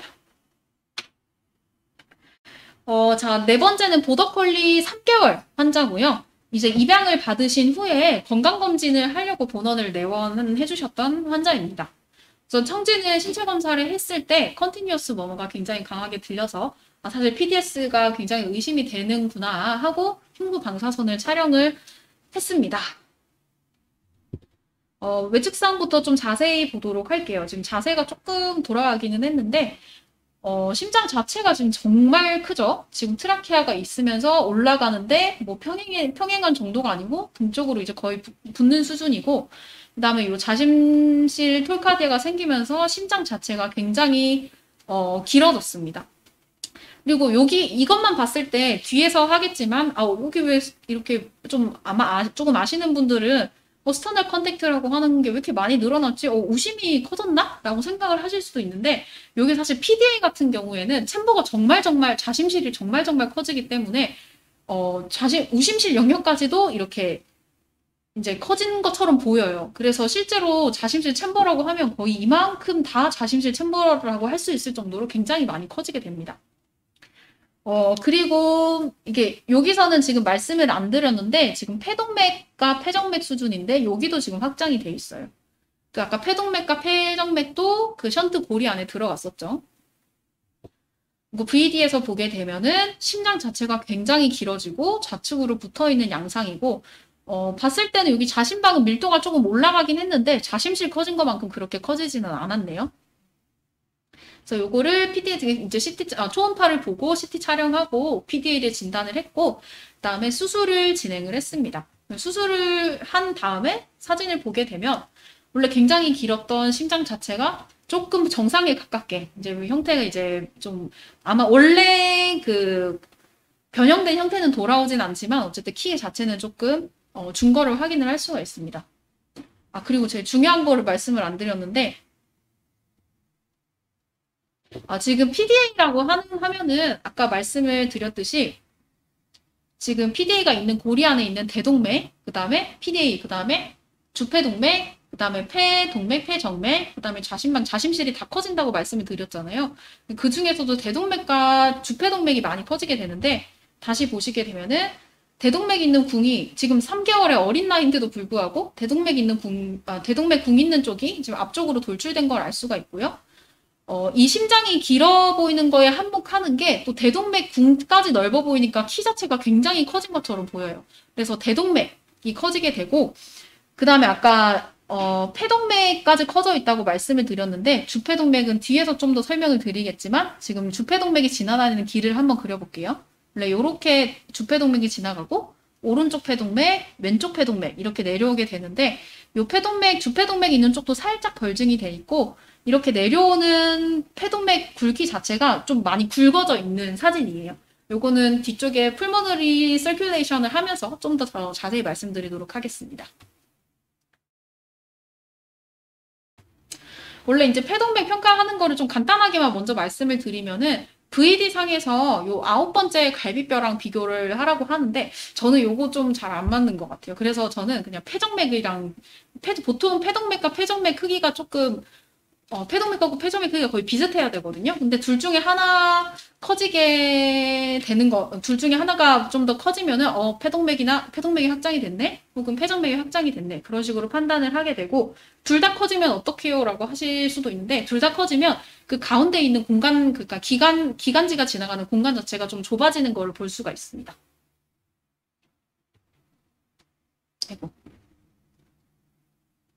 어, 제가 비교를 조금 드리냐면, 금방 PDA 같은 경우에는 PA, PV 다 굵어진다고 말씀을 드렸죠. 여기 지금 보면 등 쪽에 있는 게 동맥이고 아래쪽에 있는 게 정맥인데, 지금 비슷하게 굵어져서 잘 티가 안 나지만, 실제 환자, 그 정상인 환자들을 보면은, 요 사이에 그 루센트한, 원래, 원래 기관지가 지나다니는 길인데, 길 자체가 조금 있어야 되는데, 둘 다 확장되면서 거의 없어졌어요. 그래서, 아, 둘 다 확장됐구나, 라고 추측을 할 수 있습니다. 어, 요거 지금 뒤에서 할 부분을 잠깐 앞에서 조금 설명을 드리면 PA하고 PV 둘 다 확장된 경우가 금방 전에 말씀드렸던 것처럼 L2R 션트 중에 PDA, VSD, ASD 요 그 션트가 있으면은 보통 PA, PV가 다 커지게 됩니다. 뭐 그것뿐만 아니고 임의로 수액을 좀 과도하게 주게 되면 마찬가지로 폐동맥, 폐정맥 둘 다 확장될 수가 있고 그, 그 뭐지? 그 콩팥 기능이 굉장히 안 좋은 환자들 같은 경우에는 수액을 주게 되면은 배출을 하지 못하고 몸에 저류가 돼요. 리텐션이 되게 돼서 어, 그 경우에도 다 어, 폐동맥, 폐정맥 둘 다 확장이 될 수 있습니다. 요거는 뒤에서 좀 더 자세히 설명을 드리도록 하겠습니다. 자, 이번에는 고양이 환자인데요. 고양이 환자들 같은 경우에 조금 어, 자신 비대 보는 것이 조금 까다롭습니다. 심근 비대증이 많기 때문에 HCM이 많기 때문에 방사선상으로 좀 놓칠 수도 있어요. 그래도 어, 만약에 커진다면 혹은 두드러지게 커진다면 보일 수 있는 소견들을 한번 말씀을 드릴 텐데요. 어, 좀 그나마 저는 방사선상에서 좀 잘 맞는다고 생각을 한 것이 요거 VHS 재는 거예요. 보통 강아지들한테서 VHS, VHS 재는 거를 많이 들어보셨을 거예요. 원래 상한치가 시, 강아지들 같은 경우는 10.7이라고 하는데 강아지들은 VHS가 좀 잘 안 맞아요. 왜냐하면 소형견, 대형견, 척추체가 짧은 애, 특히 슈나우저 같은 경우는 기본이 13이에요, VH가. 원래 다른 개들은 10.7이 정상인데, 슈나우저는 맞지도 않고, 뭐, 퍼그나 불독 같은 경우도 이제 척추체가 짧은 경우가 많기 때문에, 그 친구들 같은 경우도 기본이 10이 넘는 애들이 굉장히 많아서, 강아지한테서 VHS는 저는 보통 이제 비교를 할 때, 시간 시리얼로 연속적으로 비교를 할 때 아니고서는 잘 안 씁니다. 근데 고양이들 환자, 아, 고양이 환자들 같은 경우에는 덩치도 좀 비슷한 편이고, 얼추 VHS 8 이상 되면은 커져 있는 환자들이 많아요. 아닌 경우도 가끔 있기는 한데, 혹은 아니면 그 비만인 고양이들 같은 경우에는 지방 때문에 좀 크게 측정되면서 오해를 할 때도 있는데, 보통 방사선을 촬영을 하게 되면 이게 꽤 신빙성 있게 어, 신비대를 가려낼 수 있습니다. 그리고 어, 강아지들한테서 봤던 것처럼 LA 벌징이 나타날 수 있고 그다음에 뭐 톨카디가 나타날 수 있는데 이건 좀 잘 안 보이는 편이라서 제가 가로를 쳐놨고요.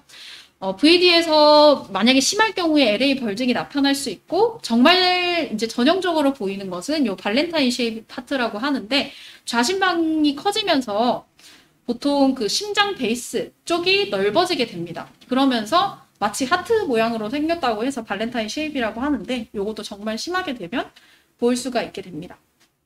이제 고양이는 정말 어려운 게 청진을 해도 뭐뭐가 없어도 심장 방사선상 심장이 안 커 보여도 심장 초음파를 정작 보게 되면 HCM이 있는 경우가 많기 때문에 보통 이 프로비엠피라고 하는 키트나 아니면은 정량 검사를 보내 많이 보내시죠.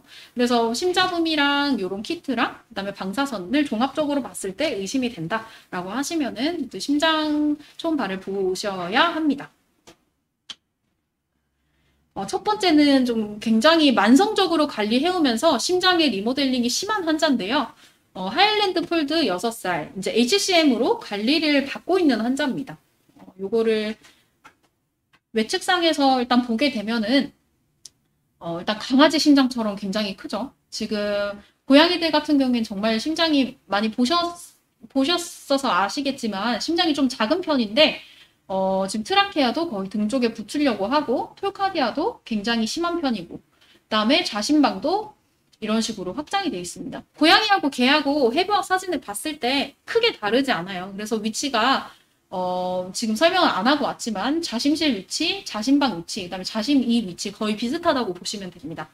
그래서 보셨을 때 자심방까지 자심실이 자심실과 자심방이 지금 굉장히 크고 VD에서 봤을 때 심장 베이스가 굉장히 넓어져 있죠. 그러니까 비교를 한번 해볼까요? 원래는 얘도 지금 큰 환자기는 한데 심장 base 자체가 넓지는 않거든요. 근데 얘는 좌심방이 커지면서 심장 base 자체가 굉장히 넓어지면서 전형적인 valentine heart shape을 띄고 있습니다.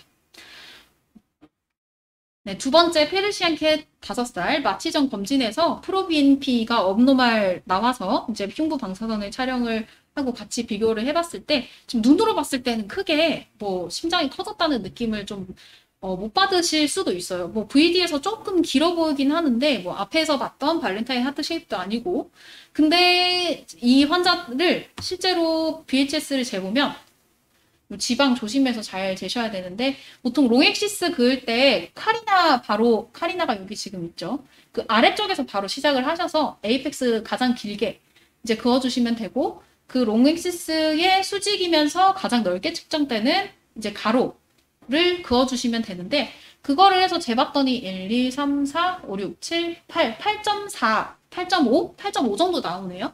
그래서 눈으로 봤을 때 크게 어, 이게 커졌나 싶은데 이런 식으로 VHS를 재보면은 실제로 큰 환자들이 있기, 어, 있어서 고양이들 환자 흉부 방사선 촬영하게 되면은 이제 꼭 재주시기를 바랍니다. 어, 아이고. 네, 세 번째 환자인데요. domestic shorthair, 11살, 3.3kg, 어, 3.3kg고요. 어, 양측 후지 냉감이 있고 후지 보행 실조로 내원을 했습니다. 이제 흔히 우리가 FATE라고 하는 HCM 때문에 FATE가 생겨서 어, 지금 내원을 했던 환자인데요. 어, 금방 전에 봤던 환자보다는 조금 더 이제 변화가 있죠. 지금 마지막 carina 쪽이 살짝 이렇게 올라가 있고 크기 자체가 조금 커져 있고 그 다음에 보기 드물게 이제 뒤쪽으로 좌심방이 이제 waist가 소실이 되면서 뒤쪽으로 돌출이 돼 있고. 네, VD에서 봤을 때 cardiac 여기 base 자체가 원래는 동그래야 되는데 이렇게 넓어져 있는 거를 확인을 할 수가 있고. 그다음에 여기 잘 보신 보이실지 모르겠지만 이 carina 바로 밑쪽 아래쪽에 밀도가 조금 증가된 게 보이시나요? 여기 좌심방 영역에. 연부 조직 밀도로 조금 증가가 된 걸로 봐서 아마 좌심방까지도 커져 있는 환자였을 거로 추측이 됩니다. 이제 뭐 그것뿐만 아니고 지금 폐 상태도 interstitial 패턴 혹은 뭐 alveolar 패턴까지 이제 밀도 증가가 있어서 어, HCM 때문에 심인성 폐수종까지 생긴 환자구나 라는 거를 이제 보여드리는 케이스였습니다. 자, 여기까지 해서 전신 순환계에서 발생하는 그런 심, 그 방사선상 변화들 에 대해서 말씀을 드렸고요. 이제 그 폐순환에 대해서 보도록, 어, 말씀을 드리도록 하겠습니다. 어, 폐순환에서는 우심실, 우심방, 주폐동맥, 폐동맥, 폐정맥을 이제 다 볼 예정입니다. 한 번만 더 복습을 하고 지나가게 되면은 어, 아까 전신순환에서 전신에 말씀을 드렸지만 폐순환에서는 어, 폐로 들어가는 순환들, 그러니까 자신방, 아, 우심방에서 우심실로 들어갔다가 주폐동맥, 폐, 그 다음에 폐정맥을 통해서 나오는 순환. 그림에서 보게 되면은 어, 전신을 돌고 온 정맥혈을 어, 뭐 대정맥, 그러니까 전대정맥, 후대정맥이 우심방으로 데리고 와서 우심실, 그 다음에 주폐동맥을 지나서 폐동맥, 실질 폐동맥, 그 다음에 폐를 지나서 폐정맥으로 오게 되고 마지막으로 자신방으로 들어가는 네, 순환입니다. 이제 앞에서 봤던 세 가지의 해부학적 세 가지의 해부학적 구조들을 뺀 나머지 여섯 가지 구조물에 대해서 말씀을 드릴 텐데 마지막에 지금 아마 요거는 지금 말씀을 안 드릴 것 같아요. 이제 보통 CBC나 아니면은 크레니아 베나카바 같은 경우에는 방사선상 평가를 쓸때 크게 진단적 가치가 있지는 않아요. 왜냐면은 어, 물론 우심방의 정체가 심하거나 그러면 확장될 때도 있는데 사실 뭐 확장이 됐네를 어 그냥 내가 이거 안 해 정도 수준이지 어, 이거 가지고 뭔가 사실 뭐 더 진단적 가치는 없기 때문에 크게 평가를 안 하게 되고 무엇보다 이 CBC 같은 경우에는 심장 뛰는 주기에 따라서 직격이 너무 많이 베리어블 해요. 그래서 보통 요 마지막 거는 어, 크레니아 베나카바는 혹은 카우다 베나카바는 좀 판독할 때 지금 오늘 오늘 주제에서는 조금 빼도록 하겠습니다. 어, 이제 해부학적 구조랑 아까 했던 거를 복습을 하면서 아까 자심이 있었던 위치를 말씀을 드리면서 우심 위치를 살짝 말씀을 드렸었는데요. 그걸 좀 더 자세히 어, 우심의 기준으로 설명을 드리도록 하겠습니다. 지금 VD에서 먼저 말씀을 드릴 텐데요. 아까 원뿔형으로 자심실이 있고 그 원뿔을 우심이 감싸고 있는 형태라고 말씀을 드렸죠. 어, 요거를 실제로 해부학적인 구조랑 비교를 해보면은 좌심실이 위치하고 있을 때 여기가 지금 넓게 전부 다 다 이제 둘러싸고 있는 얇은 공간이에요. 그래서 어, 우심방이, 우심방에서 이제 우심이가 이렇게 나와 있고, 요 안에 아마 tricuspid valve가 있을 거고, 그 다음에 그 혈액이, 우심방에 있던 혈액이 우심실로 이동을 해서, 우심실에서 나온 혈액이 폐동맥을 거쳐서 이렇게 가는 코스입니다. 자세히 뜯어보게 되면, 이 아까 자심실을 아까 둘러싸고 있다고 이제 계속 계속 말씀을 드리고 있고, 그래서 여기에서 지금 나온 혈액이 폐동맥으로 들어가야 되는데 폐동맥은 지금 어디 있냐면 여기 위치하고 있죠. 아까 대동맥 위치 기억하시죠? 대동맥 위치 이렇게 있고 대동맥보다 아래, 그다음에 좌심이보다 위에 여기가 지금 주폐동맥이 지나가는 길입니다. 그래서 요걸 아까 가로로 지금 지금 잘라낸 사진을 보면 여기가 지금 좌심실 요렇게 잘라 요렇게 잘랐기 때문에 지금 등 쪽에 위치한 지금 우심방이 보이고 있고요. 여기가 원래 tricuspid valve가 위치한 곳인데 지금 밸브를 뜯어낸 사진이에요. 밸브를 뜯어내고 여기가 원래 이제 우심실 지나가서 이렇게 지금 주폐동맥 여기가 지금 폐동맥 판막이 붙어 있는 자리가 되겠죠. 이제 그거를 그대로 어 이제 옆에서 한번 보도록 할게요. 자심실을 둘러싸고 있는 아 여기 우심실 있고 주폐동맥 있고 요거를 옆에서 볼게요. 옆에서 보면 이제 원주 원뿔 형태가 있고 그거를 둘러싸고 있는 게 아까 좌측으로 빠졌었죠. 지금 좌측에서 보고 있는 거예요. 좌측으로 빠지면 그 좌측으로 이렇게 돌아 뒤에서 돌아와서 자심실에서 이렇게 주폐동맥으로 빠지는 코스가 되겠습니다. 그래서 외측상에서 보게 되면 자심실이 있고 그다음에 그거를 둘러싸는 우심실이 있고 여기 주폐동맥이 빠지는 모습이고 아까 우심방 위치 VD에서 기억하시죠? 우심방 위치 아까 어디 있다고 말씀드렸냐면 지금 여기 깊숙이 그러니까 요 이곳 자심실에 있는 이곳 어딘가에 지금 더 깊숙이에 우심방 우심방이 있었어요. 그게 옆에서 보면은 바로 이쪽 부분이 됩니다. 아까 VD에서 오른쪽 구석에 있던 그 부분이 지금 우심방 쪽이 여기가 되고 한 바퀴 쭉 돌아서 이렇게 주폐동맥으로 나가는 모습입니다. 네, 외측상에서 한번 다시 보도록 할게요. 지금 한 지금 바, 그 자심실 벽이랑 우심실 벽을 뜯어내게 되면 여기가 지금 여기를 제거를 했죠. 그럼 여기 뒤쪽에서부터 우심방에서 온 혈액이 자심실로 들어왔을 거고 다시 주폐동맥으로 나가는 모습이 되겠, 되겠습니다. 이거 아까 봤던 사진이고 계속 반복을 해서 설명을 드리려고 요, 요 사진을 갖고 왔고 어, 요 사진은 어, 금방 외측상에서 본 게 요렇게 봤었죠. 요렇게 봤었는데 이번에는 반대쪽으로 이쪽 방향에서 내가 본다고 생각을 해볼게요. 요쪽 방향에서 이쪽 방향에서 보니까 바, 방향도 반대가 됐어요. 지금 지금 요렇게 둘러싸고 있는데 뒤에서부터 이렇게 돈다고 말씀드렸죠. 이쪽에서 보게 되면은 전체가 다 지금 우심실이 되는 거예요. 우심실, 그다음 주폐동맥에 돌아서 이렇게 가게 되겠죠. 그래서 그 아까 우심방이 있던 위치가 VD에서 그렸을 때 여기 위쪽이었잖아요. 그거를 지금 이쪽에서 보고 있는 상황이에요. 그래서 지금 우심방이 여기 등 쪽에 우심실 등 쪽에 위치하게 되고 여기 tricuspid valve가 있을 거고 여기서부터 시작한 혈액이 돌아서 반대쪽으로 돌아서 주폐동맥으로 가게 되는 이동 경로가 완성이 되겠습니다. 지금 우심방을 지금 제거한 모습이고 이렇게 얇은 이렇게 좁은 공간 좁고 긴 공간으로 자심실 원뿔을 원뿔을 둘러싸면서 이제 돌아가게 되겠죠. 요거는 심실 중격을 이렇게 우심이 있던 위치고 이거 심실 중격까지 제거를 하게 되면 여기가 지금 원뿔인 자심실 그 다음에 자심방이 되겠죠. 이거 반대쪽까지 뜯어서 넘어간 거예요. 그래서 돌아서 이렇게 주폐동맥 있는 공간까지 지금 형상화가 되어 있습니다. 어, 그리고 지금 주폐동맥만 말씀을 드렸는데요. 주폐동맥이 이제 폐동맥이 돼서 폐까지 가야 되는 코스를 좀 더 정밀하게 말씀을 드릴게요. 이제 주폐동맥이 시작되는 부분은 VD에서 지금 이 부분이고 외측상에서는 우리가 이렇게 봤으니까 지금 여기 앞쪽 부분이겠죠. 요게 나온 것이 어떻게 이동을 하냐면 이런 식으로 이동을 합니다. 이게 바로 좀 CT사드 넘어서 혼돈이 있으실 수도 있는데 어, 똑같아요. 여기가 지금 자신방 위치고, 그 다음에 여기 대동맥 이렇게 원래 나가는 위치인데 지금 단면이 슬라이스 되면서 잘린 거고, 아까 이렇게 원래 돌아서 이렇게 가서 여기 이렇게 보이는 부분이 지금 요 부분이에요. 요 부분.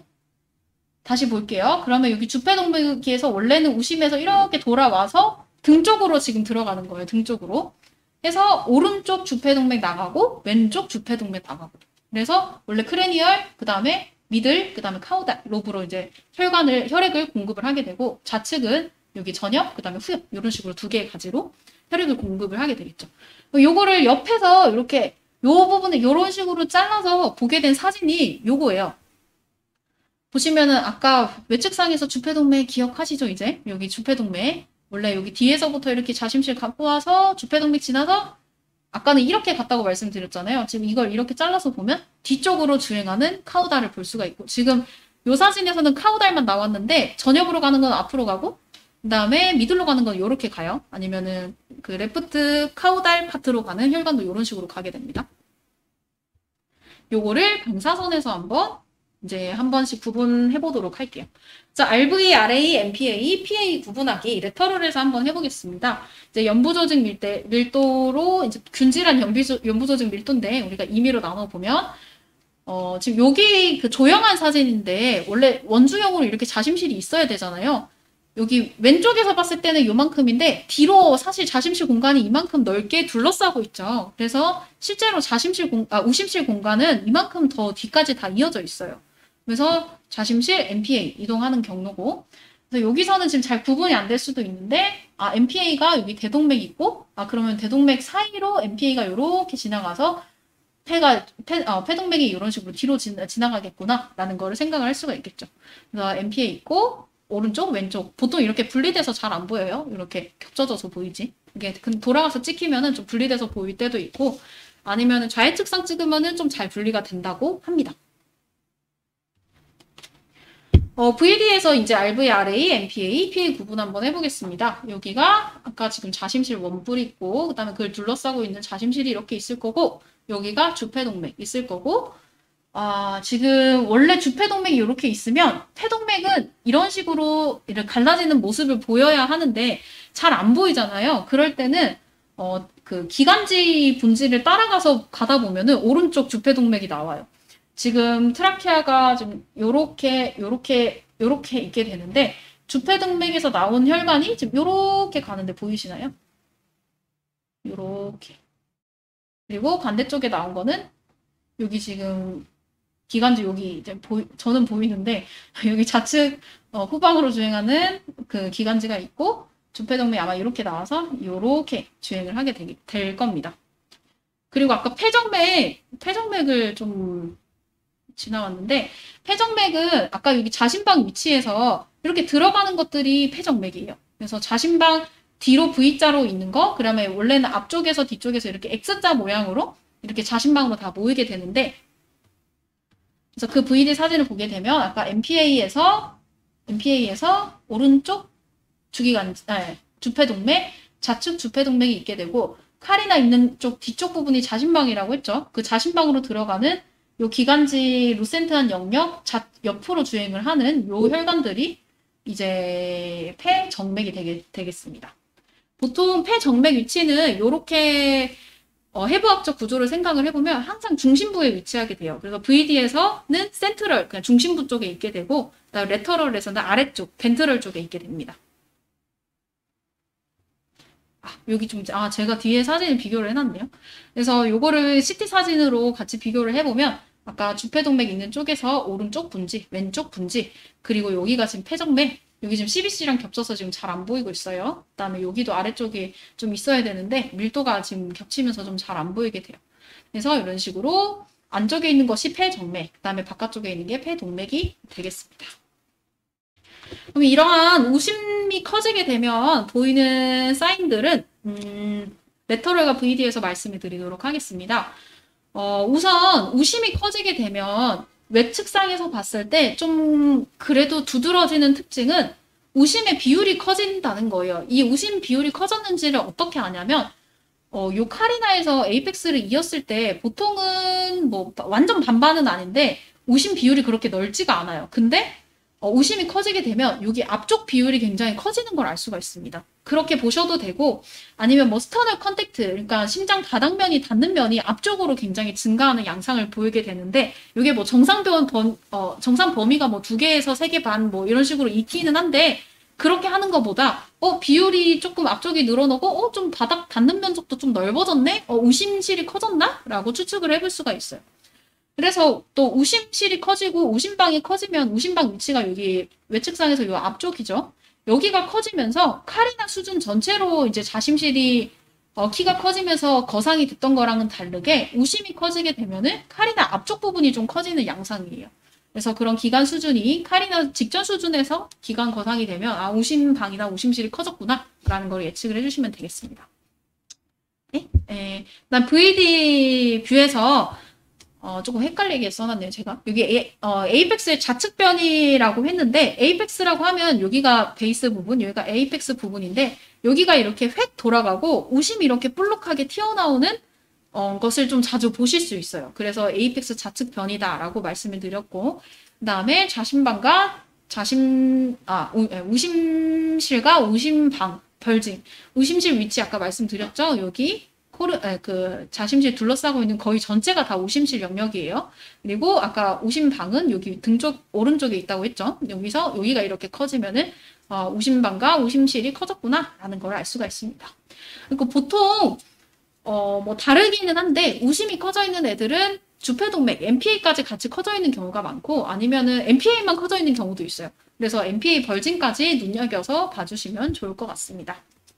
방사선으로 직접 한번 볼게요. LVLA 비례를 레터럴에서 보면은 일단은 롱엑시스를 한번 그어볼게요. 여기가 지금 카리나가 지금 이쪽인데 카리나에서 에이펙스 이렇게 그어보면 아까랑은 조금 느낌이 다르다는 게 오시나요? 여기 지금 carina랑 그어보면 뒤쪽은 거의 없고 거의 다 앞쪽 면적이에요.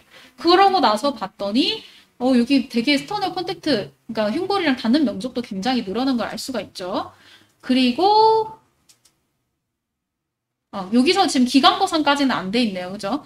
그리고 아까 주폐동맥이 외측, 외측상에서 보면 위치가 여기고 폐동맥 가는 길이 이렇게 간다고 했죠.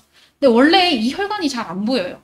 정상이면 잘 안 보여요, 정상인데 지금 이 환자 같은 경우에는 폐동맥이 커지면서 구불구불하게 뭔가 커다란 관이 뒤로 가는 걸까 보이 어, 간이 뒤로 가는 게 보이게 돼요.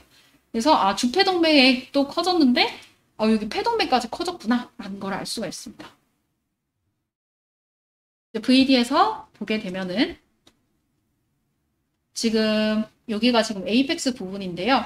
에이펙스가 원래는 살짝 이런 식으로 있으면 좋겠는데 조금 좌측으로 변이가 됐고 그 다음에 그러고 나서 보니 여기가 둥구스름하게 조금 별증이 돼 있고 무엇보다 지금 주폐동맥이 굉장히 많이 튀어나와 있죠. 이거 대동맥이랑 좀 구분이 안 간다고 하실 수도 있는데 지금 대동맥 라인이랑 보통 겹쳐서 보일 때가 많이 있거든요. 근데 그럴 경우에는 말단 부분에 있는 요거 폐동맥하고 같이 보시면 좋아요. 아까 주폐동맥에서 오른쪽 가는 거, 왼쪽 가는 거 이렇게 있다고 말씀을 드렸죠. 보통 폐동맥이 커지게 되면은 어 그냥 직경 자체가 커질 수도 있는데 그게 커지면서 굉장히 구불구불하게 주행하는 그러니까 심장사상중의 전형적인 소견이라고 할 수가 있는데 그냥 커지지 않고 구불구불하게 가는 양상을 많이 보여요. 그래서 주폐동맥 벌징되면서 되게 굵은 폐동맥이 지금 이런 식으로 구불구불하게, 살짝 구불구불하게 주행하는 걸 알 수가 있습니다. 그리고 말, 네. 네, 넘어가서, 어, 그 다음에 RVRA 확장된 거를 말씀을 드렸고, 지금 주폐동맥하고 폐동맥 확장된 걸 좀 자세히 보여드리도록 하겠습니다. 아까 여기 주폐동맥 있는 부분을, 아, 주폐동맥이 있고, 지나와서 말단 부분에 폐동맥, 폐정맥 가는 부분을 조금 확대를 해봤어요. 확대를 해서 보니, 여기 지금 기관지 지나가는 공간이고 여기가 지금 폐동맥. 요만큼이 지금 폐정맥이에요. 눈에 띄게 지금 확장된 것이 오시나요? 아시나요? 아시겠나요? 좀 구분이 잘 안 가나요? 지금 여기까지가 아이고 지금 요 아이고 여기가 지금 폐정맥이고요. 요만큼이 폐정맥이고 폐동맥은 지금 이만큼이에요. 이렇게 지금 여기 있고 폐동맥, 폐정맥. 요거 지금 요거에 비해서 한 두 배 정도 지금 확장이 돼 있어요. 그래서 아, 말단부에 있는 폐동맥은 이런 식으로 폐정맥이랑 비교를 해서 어, 보셔도 되고 아니면 구불구불하게 간다든지 아니면 못 보던 그런 튜블이 있다든지 하면은 한번 의심을 해보실 수 있을 것 같습니다. 이제 갈비뼈랑 이제 비교해보라고 하셨는데 한번 해볼까요? 이거? 이거 13, 12, 11, 19, 9번인데 여기 확장이 돼 여기 가로로 넓어지면은 여기가 폭이 넓어졌다는 거니까 가로로 긴 직사각형이 됐죠. 그러면은 아 여기가 지금 가로로 긴 직사각형이 형이니까 폐동맥이 확장이 됐구나 라고 생각을 해주셔도 되고 근데 지금 보면 폐정맥은 정상인데도 폐정맥이 지금 거의 가로로 넓죠. 그래서 저는 요거는 조금 잘 보지 않는 방법입니다.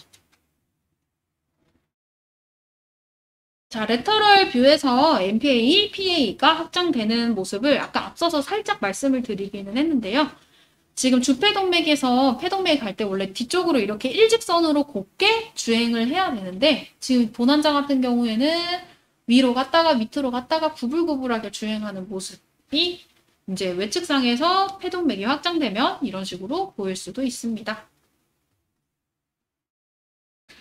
어, 이게 신비대 원인을 우심에서도 똑같이 적용을 해볼 수가 있어요. 자심에서 이제 밸브랑 뭐 압력 걸리는 거, 심근 문제 생기는 거, 션트 생기는 거. 그런 것들이 다 우심에서도 적용을 할 수가 있는데요. 우심에서는 이제 우심에서의 mitral valve 같이 tricuspid valve나 pulmonic valve의 insufficiency가 생기게 되면은 우심실이나 우심방이 커질 수 있게 되겠죠. 그 다음에 폐성고혈압. 폐성고혈압은 어 이제 폐혈관 우리가 특히 이제 폐동맥 고혈압이라는 거를 우리가 보통 일반적으로 말하는 폐성 고혈압인데요. 그 폐성 고혈압이 있는 경우에 어, 주폐동맥에서 폐로 가는 혈관에 압력이 걸려 있으면 당연히 우심에서 압력을 받겠죠. 그러면서 우심이 커지게 되는데 그런 폐성 고혈압이 있을 때 우심이 커질 수 있습니다. 그리고 AS랑 비슷하게 PS, pulmonary, pulmonic stenosis, 폐동맥 협착증이 있을 때도 압력이 걸려서 우심이 커지게 되고 어, RCM 같은 경우에는 주로 좌심이 커지지만 우심도 같이 영향을 받는 경우가 많고 DCM도 네, 네 개의 chamber 모두가 확장되는 경우가 많습니다. 그 다음에 이제 ARVC라고 잘 없는데 그 부정맥 때문에 우심이 커지는 질병이 고양이에서 있어요. 근데 그런 질병에서도 심근 때문에 우심이 커지는 질병이라고 할 수 있겠습니다. 아직 저는 실제로 케이스를 본 의심은 해본 적은 있는데 확진 내린 적은 없어요. 그리고 shunt 중에서도 아까는 PDS, 아, 저거 PD랑 VSD를 말씀을 드렸었는데요. 이번에는 ASD랑 그다음에 PDA 중에서도 reverse PDA, 그러니까 L2R PDA가 아니고 R2L일 때도 우심이 커져요. 이거 반대죠. PDA는 반대예요. 그 VSD도 아까 말씀을 드렸었는데 그 폐동맥 근처에 그 디펙트가 있는 게 아니고 심근 근처에 있으면 우심까지 다 커지게 됩니다. 한번 되짚고 가볼게요. 우심 비대 있을 때 순서대로 TBI부터 보면은 어, 몸에서 이제 정맥혈 받아서 우심방으로 이동하고 우심실, 그다음에 주폐동맥, 실질폐동맥, 실질폐정맥, 그다음에 자심방으로 들어오는 코스인데 tricuspid valve가 원래 이쪽에 위치하면서 이쪽 방향으로 가는 혈류를 뒤로 못 오게 막아줘야 되는데 tricuspid가 망가지게 되면 뒤쪽으로 어, volume overload가 생기게 되고 그 볼륨이 그대로 좌심으로 우심으로 전달이 되면은 우심이 커지고 그리고 이제 악순환이 반복이 되는 상황이 되겠고 pulmonary 앞에 저 pulmonary insufficiency 같은 경우에는 폐동맥이 지금 여기 위치하고 있죠. 보통 푸, 폐동맥 음, PI가 생기는 경우는 보통 폐동 폐성 고혈압 때문에 많이 생겨요. 앞으로 가야 되는데 앞으로 못 가니까 판막이 계속 압력을 받게 되고 그러면 또 두꺼워지고 변성이 되고 그러면 또 새는 공간이 생기고 다시 뒤로 역류하게 되고 어, 그렇게 되는 거고 그다음에 풀모너리 하이퍼텐션은 어, 폐동맥 고혈압인데 폐동맥 폐동맥이 이제 고혈압이 생기게 되면은 앞으로 못 가니까 당연히 주폐동맥에 또 압력이 걸리게 되고 또 금방 말했던 일련의 과정들이 지금 연속이 되게 되겠습니다. 이제 폐성 고혈압에 대해서는 뒤에서 좀 더 설명을 해드리도록 할게요. 그 다음에 뭐 RCM, DCM은 이제 아까 챔버들이 커지면서 앞으로 나 혈액이 못 가고 계속 저류가 되면서 챔버가 커지는 거다라고 말씀을 드렸고 ASD 한번 볼까요? 지금 ASD는 심방 중격 결손. 그러니까 우심방과 좌심방 사이에 션트가 생기는 거고 좌심방 압력이 더 높기 때문에 혈류 방향은 우심방 쪽으로 오게 되겠죠. 그러면 고리가 좌심방, ASD, 디펙트 생긴 거, 우심방, 우심실, 주폐동맥, 폐, 그 다음에 좌심방, 그 다음에 우심방 이런 식으로 되기 때문에 여기 지는 보통 결손이 크다면 요 챔버들 거의 다, 다 커지게 되겠죠. 결속이, 결, 결손 자체가 적으면은 큰 변화가 나타나지 않을 수도 있습니다. 그래서 어, 우심방, 우심실, 주폐동맥, 좌심방까지 보통 커지게 되고 ASD가 있는 경우에 다른 질병이 동반하지 않았다면 좌심실은 보통 잘 커지지는 않아요. 그리고 reverse PDA는 어, 원래 이제 PDA 자체가 L2R인데 우심의 압력 그러니까 폐혈관 혈 그 폐를 도는 그런 혈류량이 늘어나면은 폐성 고혈압이 속발해서 생겨요. 그 폐성 고혈압이 또 너무 올라가다 보면은 우심에 계속 압력이 걸리고 그 이제 그 압력이 올라가다 올라가다 못해 자심을 초월을 할 때가 있어요. 그러면 방, 방향이 원래는 PD 방향이 이렇게였는데 여기가 압력이 너무 많이 걸리다 보니까 어 여기로 못 가겠다 그럼 뒤로 가야지 그럼 여기도 막혔네 하면은 하면서 이제 다시 반대 방향으로 돌아가서 어 대동맥 그 다음에 자심실 이런 식으로 되는 경우인데 어, 금방 말했던 것처럼 선천적인 L2R 션트가 패션, 패성 고혈압에 속달해서 R2L로 바뀌는 경우도 있고, 아니면 태어났을 때부터 그냥 R2L로 태어나는 환자들도 있어요. 그래서 그런 reverse PDA 같은 경우에 우심의 폐에 압력이 걸리면서 우심이 비대된 다음에 좌심으로 바뀌는 거기 때문에 보통 우심 비대를 동반을 하고 있는 경우가 많습니다. 그리고 VSD는 말씀드렸듯이 근육 쪽에 큰 결손이 있으면 거의 좌심실이랑 우심실이랑 거의 거의 바로 연결이 되기 때문에 우심실까지도 커질 수가 있습니다. 어, 우심에서도 좌심과 마찬가지로 eccentric hypertrophy나 concentric hypertrophy 유형이 있는데요. 보통 eccentric hypertrophy는 insufficiency가 있는 밸브가 보통 고장이 나게 되면은 볼륨이 계속 정체가 되기 때문에 그 chamber가 넓어지는 eccentric hypertrophy를 일어나게 됩니다.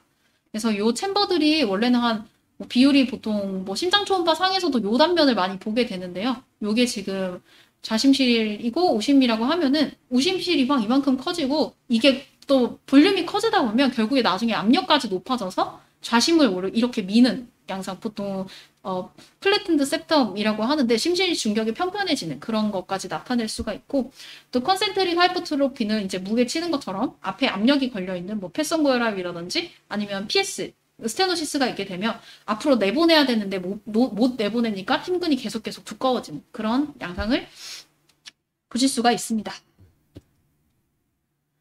음, 요거는 좀 헷갈릴 수 있는 부분이라서 조금 정리를 한번 하고 지나갈게요. 이제 폐동맥과 폐정맥이 둘 다 확장되는 경우가 있고, 둘 다 수축되는 경우가 있고, 어떤 거는 폐동맥만 확장되는 경우가 있고, 또 폐정맥만 확장되는 경우가 있어요.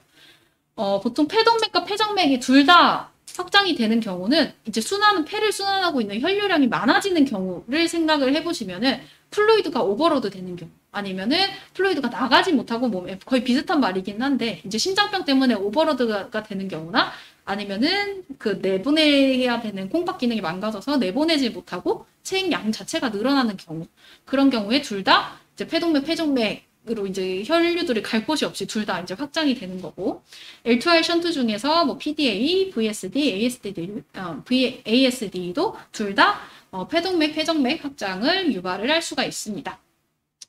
그 이제 조금 완전 반대되는 둘 다 수축되는 경우는 반대로 물이 많을 때 둘 다 커진다고 했으니까 이제 물이 적을 때를 생각을 해보시면 되겠죠. 쇼크가 와서 어 이제 혈액 쇼크가 오는 경우, 저혈류성 쇼크가 오는 경우나 아니면 탈수가 굉장히 심한 경우, 아니면 뭐 Addison이나 뭐 이런 걸로 hypovolemia가 심한 경우 같은 경우에 어, pulmonary artery나 pulmonary vein이 둘 다 수축을 할 수가 있겠고, 어, 그 다음에 어, PS 같은 경우에는 조금 특이하기는 한데 PS는 폐동맥을 확장시킬 수도 있고 아니면 아예 수축시킬 수도 있어요. 그거는 폐동맥 협착증의 정도에 따라서 달라요.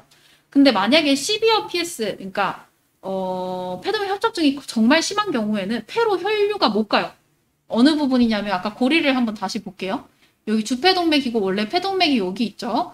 원래는 어, 그냥 별로 안 심한 경우 같은 경우에는 여기 협착증이 있으면은 이 협착증을 지나는 혈류가 와류가 형성이 돼요. 어떤 거를 상상을 하시면 되냐면 우리가 호수로 물 뿌리실 때 공간이 있는데 거기를 꾹 누르면은 굉장히 센 물살이 가게 되죠.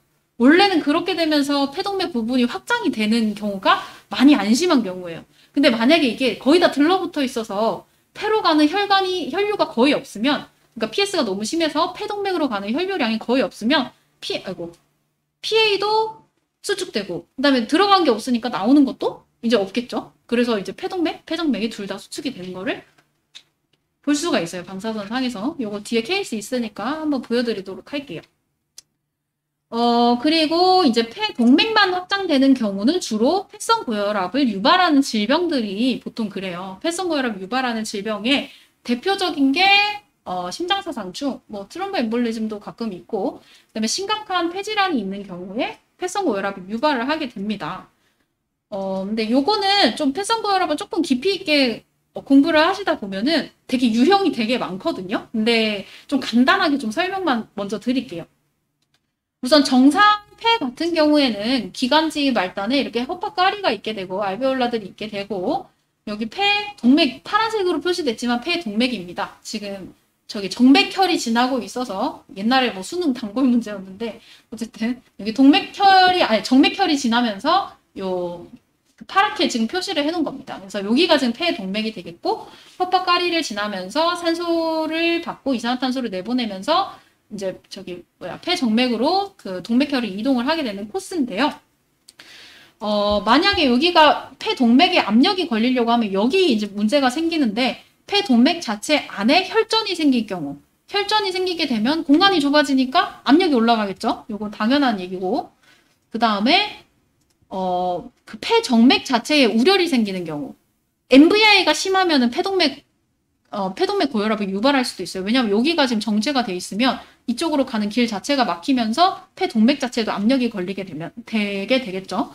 그러면서 정체가 된 경우 아니면 아까 PDA처럼 아니면은 뭐 L2R 션트들 전부가 폐동맥의 자체에 지나가는 혈류량이 많아지면서 혈관은 뭐 한도 끝도 없이 늘어날 수 없으니까 계속 그 늘어나지 않으려고 이제 혈관 벽 자체가 두꺼워지게 됩니다. 그러면서 또 압력이 폐동맥 고혈압이 생길 수가 있고 그 다음에 요게 조금 이해하실 하기가 좀 어려울 수 있는데 알베올라가 손상되는 만성 호흡기 질병 같은 경우에도 또 폐성 고혈압을 유발을 할 수가 있는데 요거를 어, 좀 설명을 어떻게 드리냐면 만약에 이제 우리가 받아야 되는 산소량은 정해져 있어요. 산소량은 정해져 있는데 폐포가 지금 망가져서 내가 산소 받는 양이 줄어요. 그럼 줄게 되면은 어, 난 산소가 더 필요한데 어, 헛박가리가 조금 없네. 개수 자체가 없네. 그러면은 원래 살아있는 헛박가리에서 최대한 효율을 늘려야겠다라고 하면서 방어 기제가 어떤 식으로 일어나면 일어나냐면 정상 헛박가리를 지나는 폐 동맥이 수축이 돼요. 수축이 되면서 적혈구가 원래 두 마리, 세 마리, 두 아니, 마리가 아니고 두세 개가 이제 한꺼번에 지날 거를 혈관을 수축을 시키면서 적혈구 한 개, 한 개씩, 한 개씩, 한 개씩 이동을 하면서 그 산소랑 이산화탄소 교환율을 높여요. 그러면은 근데 이게 하루 이틀이면은 아, 일시적으로 개선이, 아, 일시적으로 이제 혈관이 수축됐다가 다시 돌아오겠지만 이게 만성화가 되게 되면은 혈관 자체가 계속 수축하고 또 혈관, 혈관은 수축되는데 들어오는 혈액량은 또 똑같으면 또 상처를 받아서 또 스카가 생기고 그러면서 혈관벽이 두꺼워지고 결국에는 이제 방어 기전으로 그 혈관 수축을 했는데 나중에는 이제 그 돌아올 수는 없는 변성이 생기면서 혈관벽이 두꺼워지면서 폐성고혈압이 생기는 경우입니다. 그래서 어 여러 가지 지금 말씀을 드렸는데 어쨌든 pulmonary hypertension을 유발을 하는 이제 질병들은 폐 동맥이 확장이 될 수 있고요. 중에 뭐 혈전이 막을 수도 있지만 강아지들한테 외부에서 이제 사는 뭐 여름에 많이 걸리는 이제 뭐 심장사상충 같은 경우에는 폐 동맥 안에서 직접 기생을 하기 때문에 그 혈관을 막음으로써 폐성 고혈압을 유발을 하게 됩니다. 제가 약간 아 마지막으로 폐 정맥만 확장되는 경우는 요 고리에서 생각을 해보시면은 여기가 지금 폐죠. 폐 혓바가리고 여기 폐 동맥, 폐 정맥이면 여기만 지금 확장되는 경우에는 보통 여기가 정체, 좌심의 정체가 있는 애들은 보통 PV만 확장이 돼요. 근데 결국에는 이런 질병들이 심화가 되면은 PA도 같이 확장이 되는 경우가 많습니다. 여기 단, 단, 이제 심하지 않는 경우에는 PV만 확장이 된다. 정말 심하면은 다 PA로 넘어가게 됩니다. 그냥 둘 다 확장이 되게 돼요. 그래서 그걸 모식도로 지금 제가 좀 나타내 봤는데요. 아까 말씀드렸던 것처럼 보통 앞쪽 그리고 어, 바깥쪽이 지금 동맥이고 여기 안쪽이 폐정맥이에요. 둘다 굵어지게 되면은 안쪽으로 지나가는 기관지 영역 자체가 굉장히 좁아져서 그렇게 비교를 하셔도 되고 아니면은 뭐 텍스트북에 있는 그 아홉 번째 VD에서는 아홉 번째 갈비뼈랑 비교를 하시던지 아니면 외측상에서는 그 네 번째 갈비뼈랑 비교를 하시면 돼요. 그래서 뭐 가로 직사각형으로 넓어지면은 아 저 확장이 됐구나 라고 생각을 해주시면 되고 폐동맥 확장되는 경우에는 폐정맥이랑 저는 보통 비교를 한다고 말씀드렸어요. 폐정맥이랑 비교를 해서 직경 자체가 늘어나든지 아니면은 보통 폐성고혈압 폐동맥이 많이 확장되다 보면은 이런 식으로 구불구불하게 주행하는 모습을 나타낼 수 있기 때문에 이런 거를 방사선상에서 찾아주셔도 좋습니다. 그리고 폐정맥만 확장되면 요거 폐동맥만 확장됐던 거를 비교한 것처럼 요거 폐동맥이랑 확장되지 않은 폐동맥이랑 비교를 해주시면 되고 둘 다 수축되는 경우에는 아 요거는 직접 사진을 보여드리면서 설명을 해드릴게요. 여기 여기 자체가 넓어지면서 어, 굉장히 어 뭔가 내가 아는 폐가 아닌 것 같다는 생각이 들게 됩니다. 자, 이제 케이스 강아지랑 고양이 어, 케이스를 한번 보도록 하겠습니다. 첫 번째 케이스입니다. 요크셔테리어 10살 4kg 심잡음이 들렸던 환자입니다.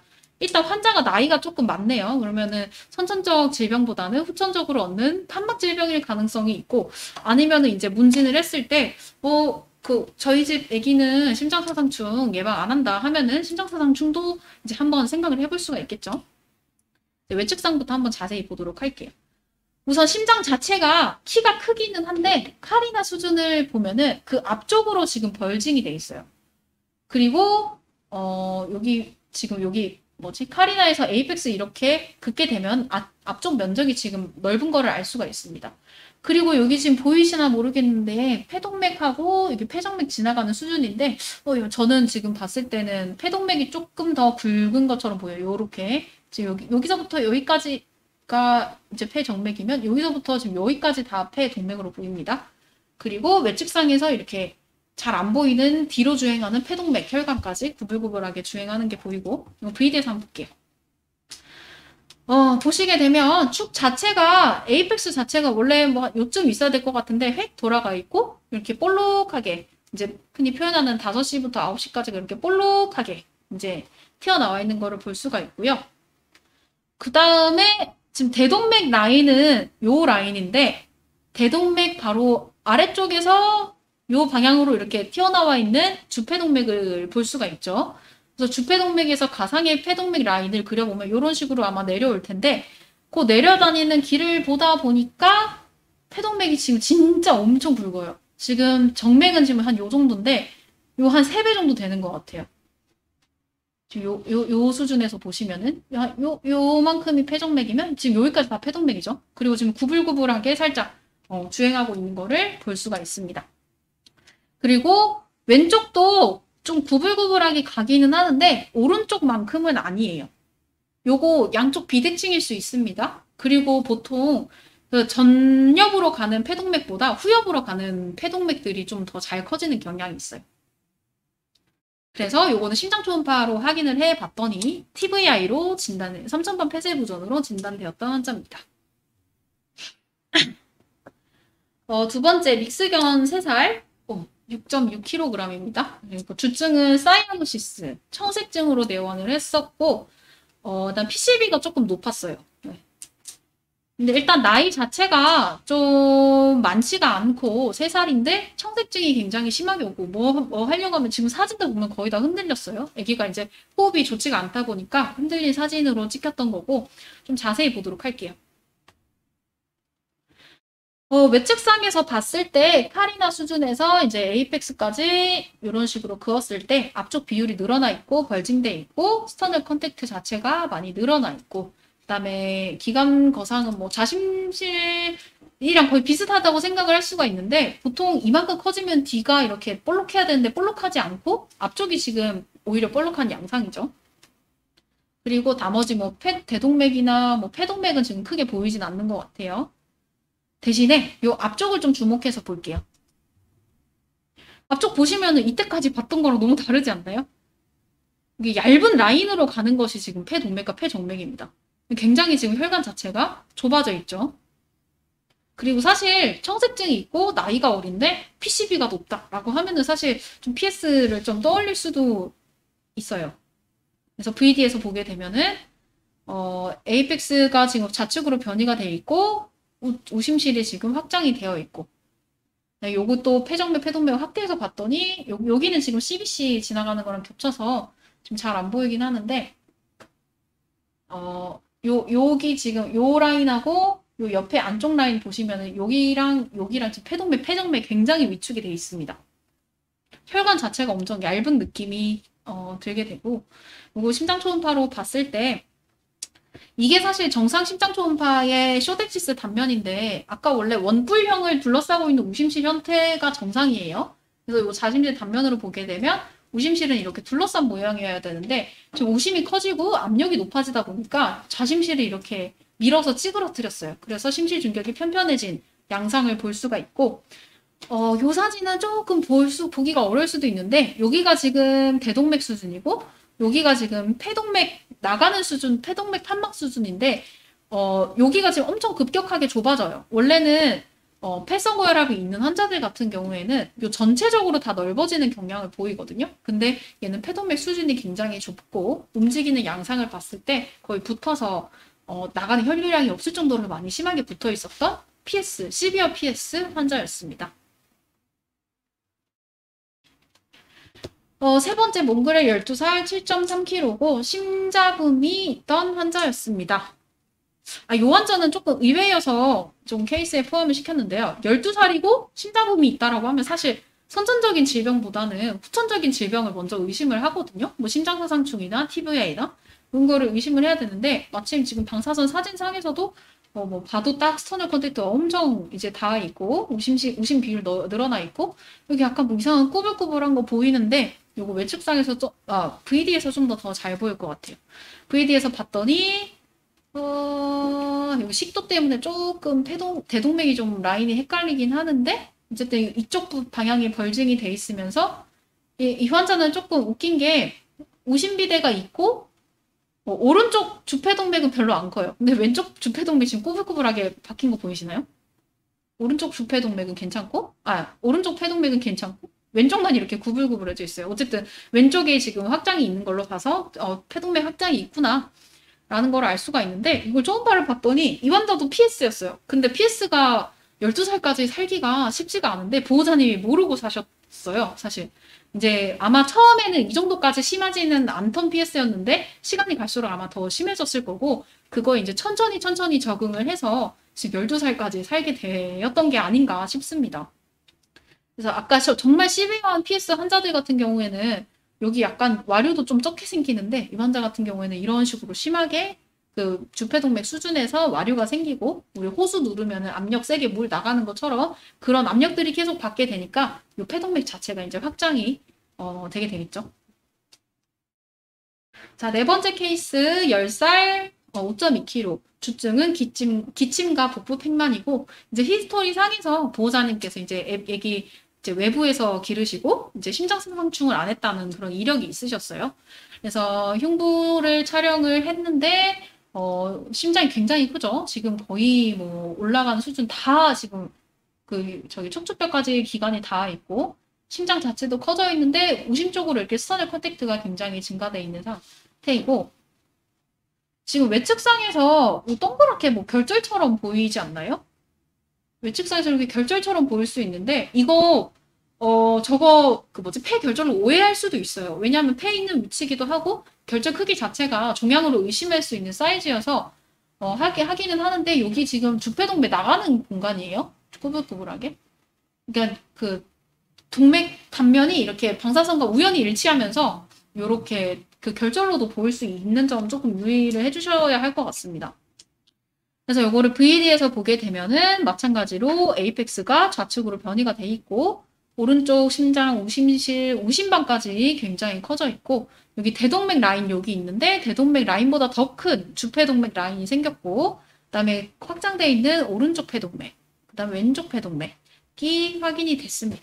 그래서 이 히스토리상 사실 명확하게 이제 그 심장상충 안 하셨다는 그게 있었고 이제 기침이나 보통 복부 팽만 그 복수까지 있었던 상황이라서 이제 심장상충을 많이 의심을 했었고 어 저기 그 심장 초음파를 봤을 때 여기 아까 대동맥 여기가 돌아가는 주폐동맥 그 오른쪽 폐동맥 라인인데 거기서 하이퍼에코의 패럴릴 라인이 여러 개 다수가 관찰이 돼서 아, 어덜트웜이 이미 이제 주폐동맥에서 관찰이 되는 심장사상 중이구나라는 거를 알 수가 있었습니다. 이 단면을 조금 이해를 하기 쉽게 보실 이해 안 되실 수도 있는데 어쨌든 어, 여기가 폐동맥 있고 아까 슉 여기 있던 거를 여기 지금 아까 폐동맥이고 여기 요쯤에 원래 대동맥 대동맥 환막 있죠. 이걸 싹 돌리면은 이런 식으로 확장 원래는 거의 폐동맥하고 대동맥하고 직경이 거의 거의 비슷하거든요. 근데 지금 대동맥보다 한 3배 정도 넓어져 있죠. 그러면 그러면서 방사선상에서 이렇게 굉장히 심하게 튀어나온 거를 이제 확인을 할 수가 있었습니다. 아, 자, 그다음에 다섯 번째 환자 토이푸들 10살, 아, 10개월 2.8kg 환자고요. 일단 운동 불내성이 있었어요. 운동을 하는 걸 일단 힘들어하고 조금만 운동해도 이제 건성 기침을 계속하고 그 다음에 10개월인데 아마 어렸을 때부터 지역 병원에서 계속 심장 잡음이 청진이 된다고 이제 심장 초음파만 의뢰를 했었던 환자입니다. 요 환자 같은 경우에는 오히려 심장이 작다는 느낌을 받을 수도 있어요. 근데 가끔 토이푸들 중에 이런 애들이 있어요. 굉장히 심장이 작은 것 같은 애들이 있는데 너무 멀쩡한데 이런 식으로 심장 작아 보이는 애들이 있거든요. 토이푸들 중에서는 가끔 그런 환자가 있다. 좀 아니면은 뭐 Italian Greyhound 같은 경우에는 VD에서 찍으면 deep chest 같은 환자들은 VD에서 찍으면 좀 작게 보이는 경향이 있습니다. 대신에 본 환자는 좀 잘 보이는 것이 어, 많이 크진 않는 것 같지만 그래도 어, 지금 carina에서 apex까지 그었을 때 우심 비율이 굉장히 늘어나 있고 sternal contact가 증가가 돼 있고 그 다음 이상한 둥글둥글한 뭐 이런 결절들처럼 보이지만 사실 그게 VD에서 보게 되면은 여기 지금 구불구불하게 있는 라인들이 지금은 아 폐동맥이라고도 이제 생각을 할 수 있겠지만 VD에서 보게 되면 처음에 보면은 굉장히 이상한 사진이라고 생각을 하실 수 있어요. 그래서 VD에서도 apex 자체가 이제 여기 좀 돌아가 있고 어, 오심실 확장이 있고 폐동맥이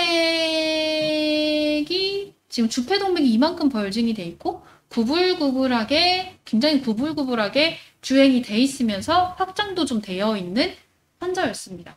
이게 같은 토이푸들에서 확인을 해보면 거의 주폐동맥 안 보이고 폐, 그 폐동맥도 지금 말단부로 가면은 뭐 거의 구분이 안 되거든요. 갈비뼈랑 직경이 거의 비슷해서. 근데 지금 이런 식으로 어, 폐동맥이 지금 굉장히 확장되어 있던 환자였습니다. 그래서 심장 초음파를 봐서 확인을 했더니 원래 대동맥과 폐동맥이 직경이 거의 비슷해야 되는데 딱 그 폐동맥 수준만 굉장히 좁아져 있으면서 거의 판막이 지금 들러붙어서 움직이지 않는 PS로 확인이 되었습니다. 아 근데 이 환자 같은 경우에는 사실 뭐 PS가 있으면은 뭐 폐동맥 확장이 되는 것도 맞지만 어, 우심 우심이 커져 있고 폐동맥도 이제 PS도 있고 또 선천적 질병이 있는, 있는 경우에는 질병이 하나만 있을 수도 있지만 여러 개 겹쳐서 생기는 경우도 있어서 이제 reverse PDA는 배제는 안 됐어요. 그래서 원래 CT 촬영을 해서 배제를 같이 하는 게 좋긴 하지만 여기서는 지금 이제 마취 하는 것에 굉장히 부담감을 느껴 하셨기 때문에 어, 심장 초음파까지만 진행을 했었습니다. 그리고 마지막으로 어, 네 강아지 환자 마지막 환자인데요. 어, 코커스패니얼 15살 주증은 syncope이고 노력성 호흡, 그 다음에 MVI TVI로 어, 관리 중이었는데 아마 요거는 아마 너무 어, 학교에서도 그렇고 뭐 굉장히 그 특이한 케이스라 어, 특이적인 케이스라고 많이 소개를 하셨던 것 같은데 어, 보통 globoid sign이라고 하는데 심장이 마치 축구공처럼 굉장히 동그랗고 굉장히 비대돼 있으면은 그리고 신체 검사를 했는데 청진이 잘 안 되고 muffled 사이즈 sound가 들리면은 보통 심낭수를 의심을 하시죠. 이 정도 심장이 만약에 단순히 그냥 MVI나 TVI로 커지면은 청진이 굉장히 심하게 될 거예요. 그냥 손만 대도 스릴이 느껴질 정도여야 정상인데 이제 청진이 잘 안 됐던 이제 굉장히 기력도 많이 떨어져 있던 환자였죠. 그 심장 초음파를 봤더니 사실 이 둘러싸고 있던 것들이 심장은 오히려 cardiac tamponade가 생기면서 심장 chamber 자체는 확장이 돼도 이 정도밖에 확장이 안 되는 상태로 진행이 되었고 대신에 주변이 지금 다 fluid로 어두운 부분이 지금 다 fluid죠. fluid로 차면서 심장이 굉장히 커졌던 환자다라는 거를 말씀을 드렸습니다. 아, 이제 마지막 고양이 pulmonary circulation에서의 고양이 환자인데요. 고양이 환자에서는 우심비대 되는 경우가 잘 찾지를 못해서 요게 마지막 케이스가 될 것 같습니다. 네, domestic shorthair고 9개월 어, 빈호흡으로 내원을 했고 어, 시, 그 혈액 검사 상에서 proBNP 검사를 했을 때 어, abnormal이 나왔습니다. 어, 일단 이 환자 자체는 우리가 아직 폐를 그 세미나를 하진 않았지만 그냥 봐도 굉장히 뭔가 지저분한 걸 알 수가 있죠. 빈호흡이 있고 어, 지금 한번 외측상에서 한번 보도록 하겠습니다. 외측상에서 고양이도 오심이 커졌을 때 강아지들과 비슷하게 이제 평가를 해주시면 되는데 요 카리나 수준에서 이렇게 에이펙스를 그었을 때 자심실 비율보다 오심실 비율이 굉장히 높아요. 요거는 제가 좀 자심 HCM 환자랑 좀 비교를 해드리려고 어, 사진을 같이 가져왔는데 아까 카리나에서 이렇게 내렸을 때 오심 비율이 굉장히 높잖아요. 근데 고양이들은 우심 좌심 비대가 좀 구분이 잘 안 갈 때도 있는데 요 HCM에서 좌심 커졌을 때 비교를 해보면 carina가 있고 거의 중심부를 이렇게 그 long axis가 이렇게 내려오는 걸 알 수가 있습니다. 뒤에 비율이 조금 있죠. 근데 우심이 커지면 요 앞쪽으로 보통 커지기 때문에 carina 있고 apex 이었을 때 거의 다 우심 비율이라는 걸알 수가 있습니다. 그래서 sternal contact가 굉장히 증가가 돼 있고 앞쪽으로 우심방도 커져 있고 그 다음에 여기 지금 뭔가 보이는 이제 이제는 보이셨으면 좋겠는데 구불구불하게 주행하는 폐동맥까지 확인할 수가 있습니다. 그래서 VD에서 좀 자세히 보게 되면은 여기 대동 여기 대동맥 라인이 있고 어, 여기 바깥쪽에서 지금 주폐동맥 라인이 지금 겹쳐서 보이는데 뒤로 가는 폐동맥들이 지금 구불구불하게 확장이 되면서 오른 왼쪽은 지금 잘 안 보이는 것 같고 오른쪽 폐동맥이 지금 구불구불하게 확장돼서 뒤로 주행하는 것을 확인을 할 수가 있었습니다. 그래서 사실 이 환자 같은 경우에는 어, 폐 질환이 너무 심했기 때문에 앞폐성 고혈압이 생겨서 우심이 커지면서 아, 우심에 압력이 걸리면서 주폐동맥도 커지고 폐동맥도 커지고라고 생각을 할 수도 있었는데 우선 이제 CT까지 이제 폐 때문에 CT를 촬영을 했다가 우연히 그걸 그 reverse PDA까지 확인을 했던 고양이 환자였습니다. 자, 여기까지 오늘 준비한 케이스는 모두 끝났고요. 어, 이제 아까 오전에 아니, 저기 시작할 때 보여드렸던 네 개의 사진들이 조금 어떻게 이제 비교가 되시나요? 이제 요거 만약에 비교 안 되시면 다시 돌려보시면 될 것 같습니다. 일단 첫 번째 사진은 사실 첫 번째 사진은 요네 번째 환자의 탈수를 거친 과정이에요. 이 환자가 MV에 굉장히 심한 MVI죠. 여기 지금 키도 커져 있고 LV, 아, LA 지금 벌징 심하고 이게 MVI, MVI 환자였는데 폐수종까지 왔던 환자였었는데 이제 그 텐던까지 럽처가 됐던 환자였어요. 그래서 이뇨제를 좀 강하게 써서 심장 자체를 사이즈를 굉장히 줄여놨던 그런 환자고 오른쪽은 키도 크고 여기 지금 좌심실 자체가 요 굉장히 큰데 요 VD까지 있으면 더 확실하겠지만 대동맥도 크고 폐동맥, 폐정맥 다 크고 해서 여기는 지금 아까 그 했던 내용 중에 PDA 환자였습니다. 그리고 여기서는 칼이나 앞쪽 부분이 커져 있는 걸로 봐서 아 우심이 커졌구나 라는 거 알 수 있고 그 다음에 폐동맥 커서 아 폐동맥 이렇게 뒤로 구불구불하게 주행하고 아 폐동맥 커져 있네 하면은 아, 심장사상충 아니면 TVA 환자, 환자겠네 라고 추측만 해주시면 될 것 같습니다. 자, 오늘은 여기까지 하고 흉관과 종격동은 어, 이제 다음 시간에 하도록 하겠습니다. 감사합니다.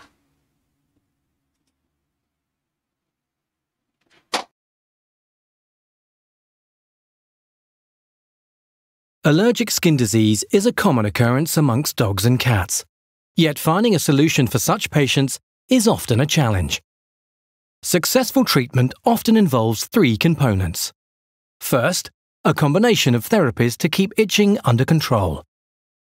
Second, good owner compliance by utilizing cost effective and easy to administer products.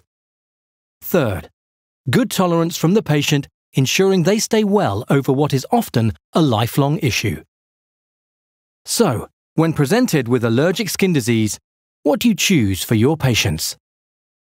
With many different options available, successful protocols are as unique as the patient themselves. When considering the ideal combination of products, Retinol Ultra provides a helpful addition to your patient's current regimen, which complements and supports the fight against allergic dermatosis. What is Retinol Ultra? Retinol Ultra is classified as a dietetic complementary feed for dogs and cats. It is unique in containing ultra micronized PEA. PEA is a substance produced naturally by the body in response to tissue injury and stress. It has been shown to reduce skin mast cell degranulation and therefore helps to control the release of chemicals involved in itch and inflammation. Naturally, PEA is found in both animals and plants, your patients gain small amounts of PEA from their diet, but it would be near impossible for them to eat enough to get the minimum effective levels. By giving Retinol Ultra, you are providing additional PEA which cannot be gained from diet alone. Retinol Ultra provides PEA in an ultra micronized form that has been developed through a jet milling technology. The resulting ultramicronized PEA has ultra small particle size and improved solubility. Why PEA-UM? Multiple studies have shown the benefits of micronized and ultramicronized PEA in both dogs and cats with allergic skin disease. A double blind placebo controlled clinical trial in dogs exhibiting signs of canine atopic dermatitis showed that 10 out of 18 exhibited a reduction skin lesion score of more than 50% compared to only 2 out of 18 dogs on placebo. Another recent multicenter trial involving 160 dogs with non seasonal atopic dermatitis showed that after 56 days of ultra micronized PEA administration, there were statistically significant decreases in pruritus scores and skin lesions alongside an increase in the perceived quality of life of the dogs involved. The pruritus scores decreased in 80% of dogs. 35% had a greater than 50% improvement, and 30% of dogs finished the trial with a score equal to or less than 2, which is classed as complete remission. The skin lesions decreased in 81% of dogs, with 62% of cases having a score of equal to or less than 5, consistent with a normal dog. Micronized PEA has also been shown to have beneficial effects for cats. These images show a cat before receiving micronized PEA, two weeks after, and four weeks after. Using Retinol Ultra. To help with dosing and administration, Retinol Ultra comes in 50 and 150 mg strengths and is formulated in easy to give Skittle capsules. Just open the Skittle as shown, and then give to the animal or mix into food. Alternatively, the capsules can be swallowed whole. Retinol Ultra provides a natural, cost effective, and easy to administer option for cats and dogs. It can be used alongside other therapies to provide additional support to the skin.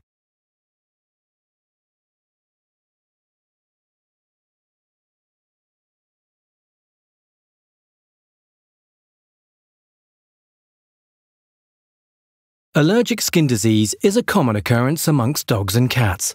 Yet finding a solution for such patients is often a challenge. Successful treatment often involves three components. First, a combination of therapies to keep itching under control. Second, good owner compliance by utilizing cost-effective and easy-to-administer products. Third, good tolerance from the patient ensuring they stay well over what is often a lifelong issue. So, when presented with allergic skin disease, what do you choose for your patients? With many different options available, successful protocols are as unique as the patient themselves. When considering the ideal combination of products, Retinol Ultra provides a helpful addition to your patient's current regimen, which complements and supports the fight against allergic dermatosis. What is Retinol Ultra? Retinol Ultra is classified as a dietetic complementary feed for dogs and cats. It is unique in containing ultra-micronized P